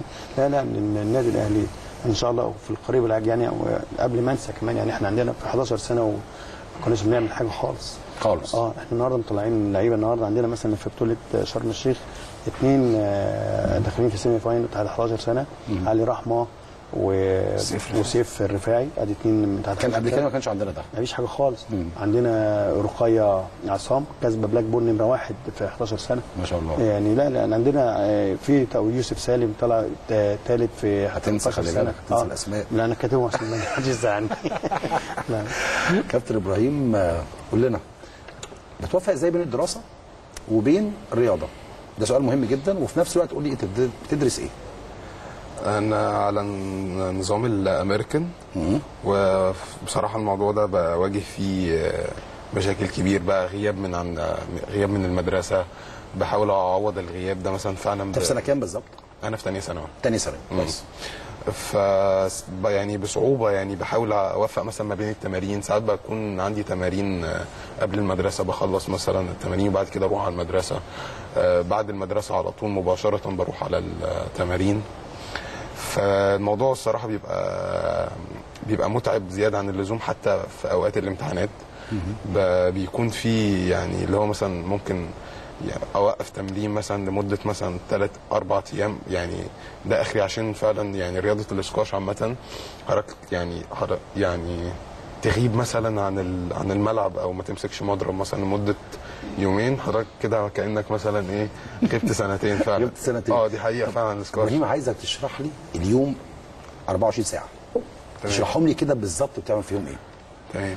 خلي بالك دي حياة رياضي لازم الناس تكون عارفة آه لازم تكون عارفة لأن في المدرسة. صح. اتفضل. ده في المدرسة؟ طبعا. تمام. آه طبعا في في أيام بروح النادي الأهلي. النادي. الأهلي طبعا موفر لنا ملاعب آه طول الوقت 24 ساعة. آه ساعات كنت بروح النادي الأهلي آه الصبح قبل المدرسة أخلص. 6 الصبح؟ آه. زي السباحة. حاجة متعبة جدا. دي فعلا ساعات كنت بعمل كده. بخلص تمريني أطلع من المدرسة. آه، بخلص المدرسة مباشرة ما, بر... ما برجعش على البيت. بروح على التمرين سواء بقى كان فتنس أو عندي حاجة في نادي الأهلي أو في حاجة تبع المنتخب أو كده. بس بخلص يعني بالعافية لما بيكون عندي تمرين في نادي الأهلي أنا ساكن في الشيخ زايد فبيكون عندي مشوار بقى إن أنا بروح من النادي الأهلي لغاية نادي س- لغاية آه، الشيخ زايد. هو سؤال مدرستك في الشيخ زايد؟ لا مدرستي في أهل الجزيرة؟ آه. ترجع لا مدرستي في الطريق الصحراوي. كمان؟ آه. مع يعني بيتمرن؟ مشوار جامد جدا آه. يعني تتمرن 6 الصبح ترجع مدرسة آه. لا آه دي حقيقة. مش بتاكل في النص؟ ما؟ ذكرتش موضوع الأكل أساسا ولا بتاكل في العربية؟ لا هو الأكل طبعا دي عامل أساسي طبعا في التمرين عامة. آه لا في أكل في أكل مجهزين لك بقى، في العربية مجهزين صح؟ له- الدنيا. العربية في صعبة. صعبة لا صعبة صعبة فعلا. رنا قولي لي. بتعملي إيه في في بيقولوا عليه اليوم بتاعك. إبراهيم يومك إيه؟ ما إحنا فعلا بنبدأ الصبح وبعدين أرجع البيت بالليل يعني. بروح المدرسة على حسب مواعيد الساعة كام. ساعات بروح متأخر أو أروح التمرين بعدين أروح المدرسة. وبعديها لازم بصراحه لازم أذاكر شوية عشان أنا في مدرسة IG يعني على آه. ال system البريطاني يعني. فهو صعب فلازم أذاكر في النص وبعديها أر- أرجع أروح تاني تمرين بالليل. مفيش خروج؟ يعني أنا بس في القعدة دي كده مفيش خروج في بس؟ في ال weekends بقى في ال weekends بس آه. بص أنا أنا أنا عارف حياة الرياضي صعبة بس الناس لازم تعرفها فعلا أنتوا فعلا بتتعبوا جامد جدا عشان تكونوا أبطال أبطال النادي الأهلي وأبطال العالم كابتن أحمد دوري السكواش اللي جاي سمعت إن فيه محترفين كتير بقى دوري صعب صح كده؟ تمام هنعمل إيه؟ لا إن شاء الله يعني كابتن ناصر برضو محضر. إحنا لعبنا الدور الأول. آه، يمكن إحنا برضو من أول بننافس برضو على إن شاء الله صدارة الدوري والفوز بالدوري بإذن الله. آه، يمكن كابتن ناصر محضر كده مفاجآت جميلة إن شاء الله للدور الثاني في الدوري. آه، إن شاء الله تعجب الناس وتكون آه، بدايه إن إحنا إن شاء الله آه، نحسم لقب الدوري ويرجع تاني الدوري بين جدران دوري الاسكواش بين جدران النادي الأهلي إن شاء الله مرة تانية. بعد غياب طبعا حضرتك عارف إن إحنا قعدنا فترة كبيرة قوي ال- الاسكواش ما كانش موجود ملعب سكواش في النادي الأهلي. دي حقيقة آه، في بره سنين كتير آه. آه، مجرد ما رجع الاسكواش طبعا آه، من بداية من موسم 2016 2017 وتولي كابتن ناصر زهران رئاسه جهاز الاسكواش أعتقد حصل طفرة رهيبة في الاسكواش في النادي الأهلي يمكن يعني آه، بنينا قاعدة كبيرة قوي. حتى للبراعم الصغيرين النهارده مدرسة الاسكواش في النادي الأهلي. ما شاء الله مليانة براعم كتير قوي قوي قوي. وده يقول إن إحنا إن شاء الله ماشيين صح على بلان صح إن شاء الله إن يبقى مستقبل النادي الأهلي كله من ولاده وابطاله من ولاده وان شاء الله نبقى عملنا حاجة كويسة إن شاء الله تسعد كل جمهور النادي الأهلي إن شاء الله يا رب كابتن ناصر قطاع الناشئين وقطاع الناشئات وكنا اتكلمنا قبل كده إن عندنا قطاع كبير شايف استعداداتنا للدوري كانت استعدادات مناسبة؟ آه طبعا. هو ال- الحمد لله إحنا بنبدأ الإعداد بتاعنا من اول ما بنخلص الموسم بشهر خمسة بناخده آه، off لجميع اللعيبة عشان امتحانات ودراسة وبتاع والجهاز الفني بياخد أجازة. أول ما بنبدأ خلاص يعني الحمد لله بنبدأ آه، من 15 6 استعدادا ليها وخصوصا إن الدوري يبدأ شهر 9 آه، عملنا استعداد جامد جدا آه، حضرنا فرقة جامدة جدا وطبعا يمكن الناس عارفة كلها يمكن الخمس سنين الأخر دول آه، نادي وادي دجلة هو المسيطر على لعبة الاسكواش طبعا. بما إن هو كان آه، عنده إمكانيات آه، مالية كويسة وعنده آه، جهاز فني بقياده الكابتن كريم درويش. كريم- أعتقد كابتن كريم درويش هو ماسك النشاط الرياضي دلوقتي ماسك النشاط الرياضي. آه. وأنت عارف هو كان بطل عالم. سابق فكان عينه كويسة طبعا عرف ياخد اللعيبة من الأندية المعينة وعمل قاعدة كبيرة جدا. هو اللي ماشي عليه لغاية دلوقتي وم- ومخليه متقدم على الأندية. ما فيش حد كان بينافسه حالا إن هو ياخد منه من اللعيبة. هو كان مسيطر كل اللعيبة كانت بتيجي عنده. الحمد لله يمكن أنا كان فكري يمكن باحترافي شوية قلت لازم إن شوية النادي الأهلي مش نادي اسم كبير جدا ولازم بقى يخش في الدنيا دي كويس وبعد الملاعب ما اتعملت على أعلى مستوى طبعا و آه، وأحدث مجمع معمول في مصر دلوقتي ملاعب النادي الأهلي قلنا لازم نجيب لعيبة وننافسه وفعلا يمكن خدنا آه، أكتر اللعيبة اللي جم السنة دي أكتر نادي استفاد باللعيبة آه، من خارج النادي الأهلي وجم هو النادي الأهلي. وبناء عليه يبقى بدأنا نعمل له قلق. لو بدأنا نقول للنادي الأهلي جاي لكم خلي بالكم يعني إن في حاجة جاية إن شاء الله. ودوت اللي بيحصل فعلا يعني الحمد لله بدأنا ماتشين نادي سموحة. السنة اللي فاتت كان كسبنا. السنة دي إحنا كسبناه الحمد لله. آه، Black Ball جاب لعيبة كويسة جدا لعب معانا وكسبناه برضو. بيجيبوا محترفين من بره يا كابتن؟ آه إحنا يمكن مين مين اللي جاب محترفين من بره؟ آه وادي دجلة. جايب محترفين جايب آه بنت آه آه وجايب آه جاب آه لاعب كويس جدا بس مش فاكر اسمه إيه هو دلوقتي يمكن آه آه مصنفين. مصنفين عالميا جدا. نادي هليوبوليس جايب آه آه كول. كويس. آه وجايب أماندا صبحي. أماندا صبحي دي باباها مصري بس عايشه في أمريكا من أحسن لاعبات على مستوى العالم. آه فبدأوا حتى ال- ال- التعاقدات الداخلية نادي ال Black Ball دوت جاب لعيبة زي سلمى هاني. هذا إحنا إحنا عندنا كريم عبد الجواد وعندنا ياسر جبناهم وجبنا كريم علي فتحي. آه لكن إن شاء الله بإذن الله بمساعدة النادي والنشاط الرياضي هنحاول نجيب لعيبة ولاعيبه برضه محترفين على أساس يدوا قوة للفريق بإذن الله إن شاء الله رنا قولي لي مين مثلك الأعلى في السكواش؟ في الولاد رامي عاشور في البنات رنيم الليلي رنيم الوليلي. الوليلي اشمعنى رنيم الوليلي؟ أنا. بحسها يعني بحبها هي محترمة قوي و... ولعبها حلو قوي وهادية و... والناس كلها بتحبها برضه. أنت مش شرسة في الملعب؟ قوي لا طيبة جدا. إيه مبسوط؟ لا لا بيبقى مفيش رياضي طيب. لا لا لا لا, لا. إيه، ساعات بيساعدها ال- الهدوء دوت في الملعب بيبقى محتاجه طبعا في وقت الاوقات بتبقى الهدوء دوت بي- بيديها ثقة في نفسها وبيخليها cool في الملعب شوية بتقدر تتصرف صح. فطبعا بس إحنا عايزين بقى نديها جرعه كده جرعه حماس وروح. حماس شوية كده وروح. صح أنا شفت لعيب في السكواش بيضربوا المضرب في الأرض وبيعملوا حاجات جامدة جدا. ما بتعملش الكلام ده؟ مش من مش من نوعية اللعيبة دي. زمان كنت بتعصب قوي لكن بقيت بقى العكس. هادية قوي هادية دلوقتي؟ آه. إبراهيم إيه؟ شكلك عصبي. أنا؟ آه. لا لا. مش هادي لا لا مش هادي. يعني ده مش هادي صح؟ لا، من آه، لعيب راجل قوي في الملعب. قوي قوي بياكل بياكل الملعب. بياكل الملعب. بيلعب بيلعب. أيوة، قول لنا. لا لا حقيقي. تاكل الملعب إزاي؟ قول لي. قول لي. ده يعني الصراحة وجهة نظر كابتن ناصر زهران إن أنا أي مفيش حاجة عندي اسمها اللي هو ده أجمد ده أجمد مثلا مني فأنا هخش مثلا مش هلعب أو كده. هو قصده مثلا إن أنا بخش يعني في التمرين زي ما بلعب في البطولة زي ما بلعب في في ال team training زي ما بلعب في أي حتة يعني. بس هي دي وجهة كابتن ناصر زهران يعني. قول لي يا إبراهيم مين مسك الإعلى في السكواش؟ أنا؟ آه الصراحة محمد الشرباكي محمد. شرباجي أعتقد هو في أمريكا دلوقتي أو في بطوله إنجلترا. دلوقتي في إنجلترا صح؟ هو كان وصل فاينل تقريبا وصل فاينل آه يلعب صح، هو مع آه، بطولة الألماني. أمريكا دلوقتي. متابعه إحنا كده مع... خليناش م...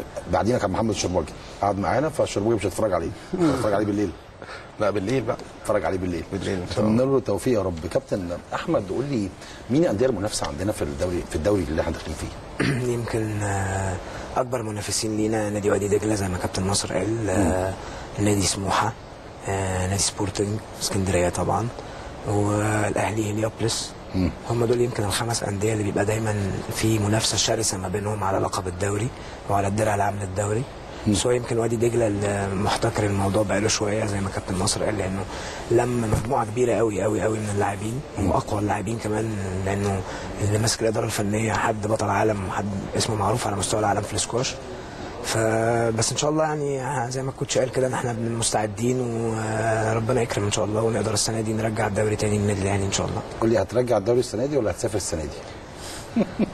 ده سؤال صعب. سؤال صعب صح؟ سؤال صعب. لا، خلاص أنا عرفت إن أنت إن شاء الله هتاخد مجال التدريب أو هتسافر إن شاء الله. آه، طبعا اولا يعني أنت حضرتك بتتاح لي الفرصة إن أنا أشكر كابتن ناصر زهران هو اللي رشحني لل- للمكان ده أو للمنتخب السعودي. وإن شاء الله يعني نكمل نحاول ان إحنا نكمل الموسم السنة دي مع الأهلي يعني إن شاء الله. وبعدها إن شاء الله نبتدي بقى تدريب المنتخب السعودي بإذن الله. كابتن ناصر حاجة محترمة قوي إن أنت حضرتك بترشح الموضوع.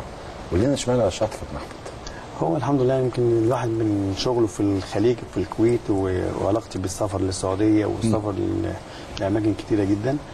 فطبعا الناس عندهم ثقة فيا الحمد لله. يعني لما بيعوزوا أي حاجة أو بيعملوا معسكر داخل مصر أو خارج مصر بيكلموني وممكن الكويت أو أو قطر أو أو السعودية. وعندي صديق جدا ماسك المدير الفني السعودي الكابتن سامي الخطيب آه، آه، اسم كبير جدا في السعودية هناك. فهو من الناس اللي دائما يعني على اتصال بيا على طول. فهو اتصل بيا وقال لي أنا محتاج آه، آه، مدربين يجوا عشان يمرنوا المنتخب السعودي و فأنا شايف آه، أحمد يعني ال- ك عنده دماغ كويسة جدا في مجال التدريب. والسنة اللي فاتت آه، مرن معانا بس السنة دي قال لك أنا عايز ألعب شوية فادانا الفرصه يلعب بالله فبناء عليه أنا اتصلت بيه طبعا عندي مدرب كويس جدا وممكن في الحتة اللي أنت عايزها في السعودية هو دوت المكان الراجل المناسب في المكان المناسب. وبناء عليه آه، عملنا اتصالاتنا وكلمت أحمد وقال لي إن أنت شايف وتصرف أنت يعني أخ أكبر لينا وال- واللي شافه لينا أعمله يعني. وبناء عليه اتفقنا الحمد لله ويمكن هو على شهر 12 بإذن الله هيبدأ آه، آه، السفر إن شاء الله ونتمنى له التوفيق طبعا وهيبقى لنا ضلع كبير في السعودية طبعا من أبناء النادي الأهلي يبقى موجود معانا هناك طبعا ودينا يعني. عمره وكده طبعا يبقى موجود معانا هناك إن شاء الله. إن شاء الله. آه، رنا قولي لي في مواقف دايما بتقابلك في في الملعب السكواش؟ إيه أصعب موقف قابلك جوه ملعب السكواش؟ صعب آه أول مرة كان أدخل في ماتش حد يقعد يضربني في الملعب أو يبقى فيه إيه لعيبة يعني تزنق وبتاع. يعني إيه يضربك؟ معلش قولي لي يعني إيه يعني يضربك؟ مثلا هو بيبقى حد يزنق على حد ممكن ما يخلوش يعرف يدخل على الكورة. براحته وكده آه، صح. آه شفت أنا عارف. إزاي؟ آه، شوف. لا لا اتفرج على كابتن عباس و طبعا كابتن عباس وحضرتك وكابتن محمد مرجان. بالظبط كده. بتكسبهم. شوف. يلا عشان انت عارف. آه، خلاص، مش خلاص كده على الهوا. لا قولي لنا بجد يا رنا فهمينا يعني إيه السوق بتاعت بتاع الناس عشان الناس تعرف. يعني برضه إن في جماهير كتيرة متابعانا ما تعرفش قوانين لعبة السكواش. فيعني إيه تزنق عليكي جوه الملعب. يعني هي هتخليني مش قادرة أدخل الكورة براحتي. توصل للكورة بطريقة توصل للكورة. اوصل الكوره عشان يبقى المضرب سلس في, في لعبك. آه. مظبوط كده؟ واللي هو ما يخبطش فيها مثلا وأنا بلعب الكورة. تاخرها عن اللعب مثلا عن آه. إزاي؟ قول لنا إبراهيم. يعني مثلا في حاجات كتير قوي في الولايات حركات من ال- اللي رنا بتقول عليهم دي إن هو مثلا هو يعمل يعني هو. مثلا آه يعني هو مثلا أنا نقطة ضعفي على على ال forehand مثلا. هو مم. يجيب لي مثلا الكوره على ال forehand ويخليه مثلا أدخل من أوسع طريق مثلا أو من أطول طريق أو من أرخم طريق بمثلا مثلا ممكن كوع مثلا. تلاقي آه، كوع. تلاقيه موافق في وش حضرتك مثلا. تمام. طب أنا عايز أعرف حاجة. بص أنا اللي أنا علموني الاسكواش زمان كنت بلعب بس طبعا مش زيكم أبطال عظام. تمسكي نص الملعب. دي أهم حاجة عندك فعلا تمسكي نص الملعب؟ ما هو نص الملعب بيبقى أكتر نقطة تقدر توصل لأي حتة في الملعب. يعني أول ما توصل نص الملعب أنت قريب من أي بس. نقطة في الملعب. مظبوط كده؟ آه. دي نص الملعب هي أهم حاجة. قول لي يا إبراهيم ما فكرتش في الاحتراف الخارجي؟ أي واحد في الدنيا بيفكر في الاحتراف. آه دي حقيقة بس الاحتراف الخارجي آه، عندنا في الاتحاد المصري هو أول أول أول نقطة بي بيفكروا فيها هي بطولة ال British Open. ال British Open دي بتعمل كل سنة في في شهر يناير. بيتحدد عليها مين هيطلعوا ال- البطولة دي تبع أول أربع بطولات على التصنيف ال- التصنيف المحلي لل- للمنتخب لمنتخب مصر. آه، يعني هي بتبقى بطولة تبع المنتخب بيشارك فيها أكتر من يعني كل دول العالم. وبعد البطولة دي بت هي بطولة العالم مصطفى عسل اللي هو لاعب نادي الأهلي. كسبها السنة ال- السنة دي ل 2018 دي بعد بطولة العالم بيبقى بقى حضرتك احترافي اللي هو ال PSA ال PSA ده اللي هو الناس الكبار زي مثلا محمد الشرباجي زي كريم سامي. فهو يعني إحنا لسه صغيرين يعني الحتة دي. بتفكر في ده؟ آه طبعا. أكيد. آه طبعا. ناوي. آه ناوي تمشي تمشي تمشي الطريق ده. آه إن شاء الله. هو شكلك هتسيب الدراسة. لا هو هو السكواش يعني يعني الصراحة يعني في هو واحد بس اللي عارف يوفق ما بين اتنين وده صراحة يعني هو فعلا مثل الأعلى في الدراسة مع السكواش. هو هو كابتن علي فرج. هو راح يعني درس في في أحسن جامعة في العالم في هارفارد وبعد لما اتخرج اتخرج من من هارفارد آه، دخل آه، التوب 10 في أقل من من من سنة. دخل بقى من أحسن 10 لاعبين في العالم في أقل من سنة ودلوقتي هو تصنيف آه، رقم اثنين على العالم. فهو عارف يوفق ما بين ده وده. إزاي؟ إرادة. إرادة. يا كابتن صح؟ أكيد. صعب قوي اللي هو بيقوله ده. آه طبعا. لكن آه، علي فرج بصراحة كسر القاعدة ديت وورى للناس إن أنت ممكن تبقى آه، ناجح في الدراسة وناجح في الاسكواش كمان. فدوت لازم كل الناس تاخد قدوة ليهم ويعرفوا إن عمر ما الدراسة تعوقك عن إن أنت للوصول للهدف اللي أنت عايزه أنت لو عايز هدف محدد هدفك إيه مفيش حاجة توقفك خالص. خالص خالص. هي دي إرادة لعيب النادي الأهلي. أحمد قول لي اللعب أسهل ولا التدريب أسهل؟ بصراحة الاثنين صعبين. هو بصراحة يسيب الاثنين الاثنين صعبين ليه؟ آه اولا أنت كلاعب سكواش طبعا آه بالذات لما بتكون من من أحسن لعيبة في مصر زي إبراهيم أباني وزي رنا. آه عليك دايما ضغط طول الوقت إنك عايز دايما تبقى رقم واحد عايز دايما ما تنزلش عن الحتة دي.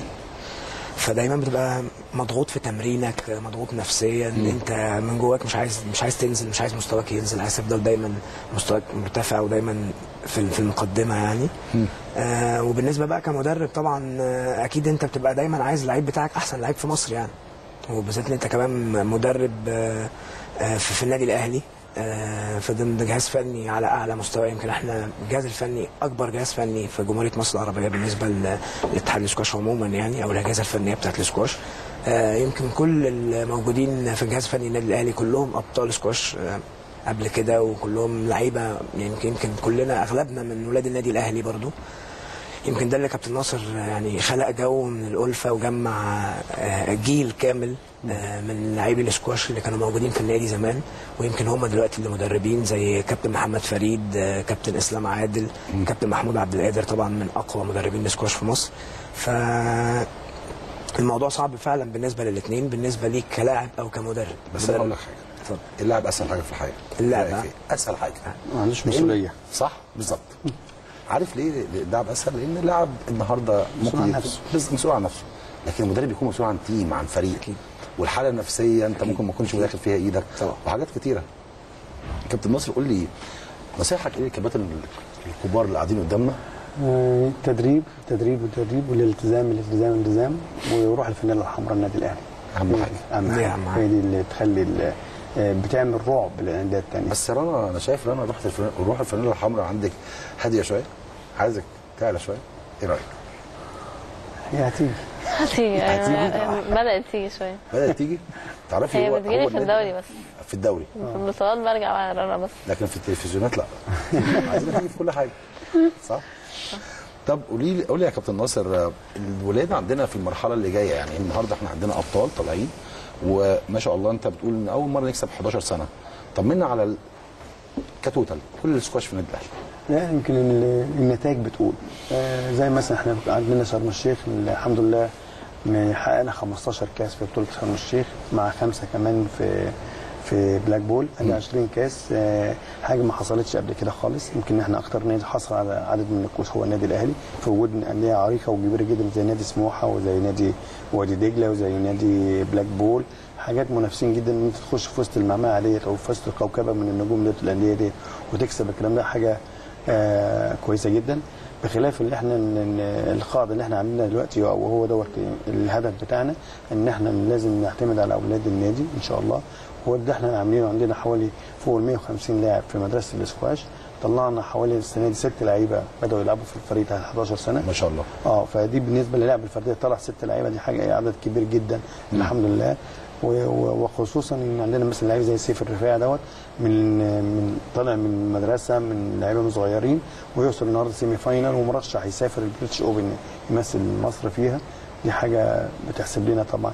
بخلاف إن هو اللي اسمه علي علي رحمة وصل نهائي بطولة شرم لا لا. عندنا شغل وأنا بالمناسبة يعني عايز أشكر ال- ال- الجهاز اللي هو الأكاديمي اللي هو الدكتور فريد صلاح اللي هو مسؤول عن الأكاديمية دي. حقيقه يعني عامل مجهود كويس مع الناس مع المدربين الصف بتاعه كله. بس وتسمح أنا اشكر برضو الجهاز الفني اللي- طبعا. اللي المتواجد معانا الكابتن محمد سمير المدرب العام مدحت جلال إسلام عادل محمود عبد القادر آه، حسين إمام محمد فريد طارق إسماعيل ياسر مبروك شريف هاشم عمر العريان محمد مسعد. عمرو فهيم الصورة دي آه، منتصر أعتقد الصورة دي معبرة جدا آه طبعا جايب بالمناسبة يعني آه جايب بالمناسبة صح صورة معبرة جدا منتصر وإبراهيم عسل آه. آه عندنا ال fitness عندنا خمس مدربين fitness ما شاء مش. موجودين في اي نادي وليد عز الدين محمود عبد الغني محمد رأفت نديم ماجد جهاز إداري خالد بسيم محمد زكي أحمد سمير أدهم الطب الدكتوره هدى طبعا يمكن طبعا. طبعا. تاريخ في النادي الأهلي والدكتور العلاج الطبيعي محمد عنتر. كل دول اليوم مني كل الاحترام كل التقدير على المجهود اللي هم عاملينه خلال الموسم اللي إحنا شغالين فيه ده. هنا قولي لي لعبة السكواش آه، فيها جماهير؟ هما بدأوا يزيدوا قوي يعني بدأ يعني كل الناس دلوقتي عارفين عن السكواش في مصر يعني بيشوفوا النتائج اللي مصر بتعملها في السكواش فكله عارف عنها. يعني دخلتي ملعب السكواش لقيتي 2000 واحد بيشجعوك تعمل إيه؟ هسيب الملعب وأمشي. لا ده هتديها روح بالذات. قولي لي. هلعب يعني أنا صراحة. الناس اللي قاعدة بره مش هتفرق معايا يعني أنا بدخل بلعب خالص. بتلعبي وخلاص. قول لي يا إبراهيم تفرق معاك التشجيع الجماهير معاك لو جوه الملعب؟ هو الصراحة آه كمان التشجيع ده في حاجة تانية اللي هو مثلا لو في تشجيع قوي تبع مثلا النادي الأهلي أو مثلا نادي وادي دجلة لنادي مثلا للعيب بتاعهم ده بيهز اللعيب التاني قوي مثلا الصوت العالي ال- الجمهور الكتير ده بيهز اللعيبة التانية خالص. فيعني أتمنى إن هم يكونوا معايا مش انت عايز جماهير النادي الأهلي تيجي تشجعك جوه ملعب السكواش آه طبعا. مهم. آه طبعا. صح؟ هتفرق معاك كتير. آه طبعا. طبعا ساعات بحس حاسس طبعا إن أنا شايل مسؤولية و... وهم جايين بقى مشجعين و... لازم طبعا يعني أشرفهم. قول لي قول لي يا أحمد لو دخلت الملعب ال... إحنا ألعاب مش هنقول ألعاب شهيدة أنا ما بحبش الكلمة دي بس هي فعلا ألعاب شوية جماهيريا قليلة يعني. قول لي لو دخلنا الملعب بتاع السكواش ولقيت فيه 3000 4000 واحد. والله هي بتختلف من من شخص لشخص أو من لاعب للاعب بس هو يمكن لاعب السكواش بيبقى يعني على درجة كبيرة قوي من التركيز قبل ما يدخل مباراة أو قبل ما يبدأ مباراة. فأعتقد إن يعني غالبية لعبتنا بيبقى داخل الملعب مش شايف حد. خالص. خالص. ويمكن ده اللي بي دايما بيخليه آه، مركز جوه الملعب. آه، ما بيتأثرش بأي حاجة بتحصل بره الملعب أو حواليه. ودي من أهم الحاجات اللي إحنا دايما بنتكلم معاها أو كابتن ناصر بيقعد يتكلم مع اللعيبة في الموضوع ده كتير قوي إن أنت دايما ما تبقاش شاغل بالك مين قاعد بره مين بيشجع مين آه، ضدك مين معاك. لا أهم حاجة إن أنت تبقى مركز جوه الملعب وده اللي بيخليك دايما قريب للمكسب. كابتن ناصر الوقت بيجري. معانا. طبعا. جدا جدا جدا. لكن عايز أسألك سؤال شخصي. لاعب ولا مدرب ولا تحكيم أي أسهل فيهم بالنسبة لحضرتك؟ وأي أصعب فيهم؟ لأن حضرتك تاريخ كبير في الموضوع. أنا أسهل حاجة زي ما أنت بتتابع لاعب.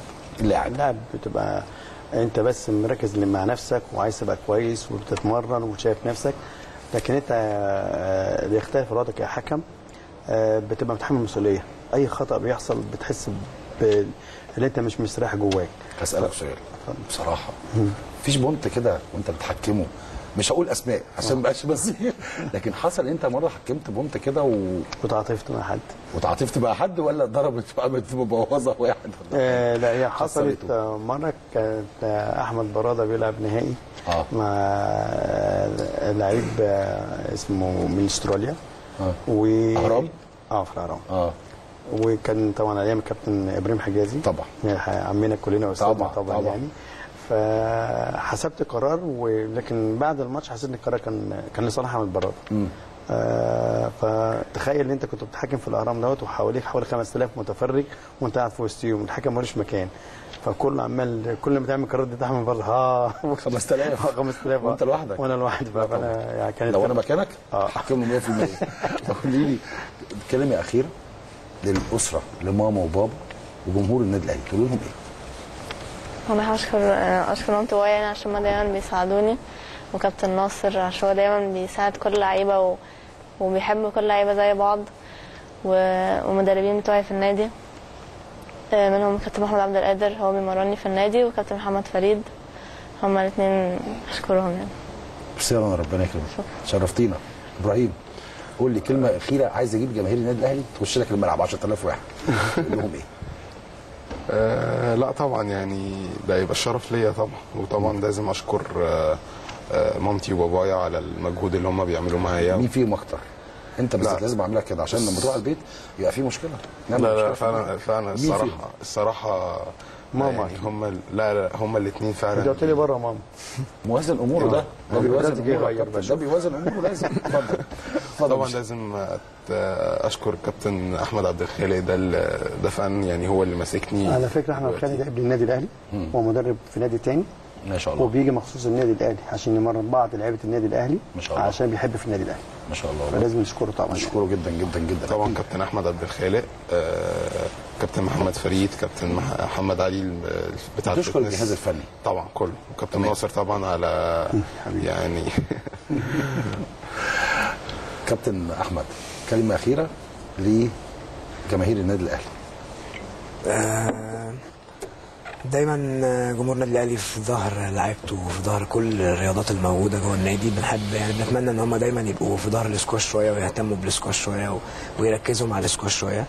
آه، كلمة أخيرة بحب طبعا آه، أشكر مجلس إدارة النادي الأهلي برئاسة الكابتن محمود الخطيب على مساندته للسكواش دايما وكابتن ناصر زهران رئيس جهاز السكواش في النادي على وقوفه جنبنا شخصيا ومساندته ليا طول الوقت.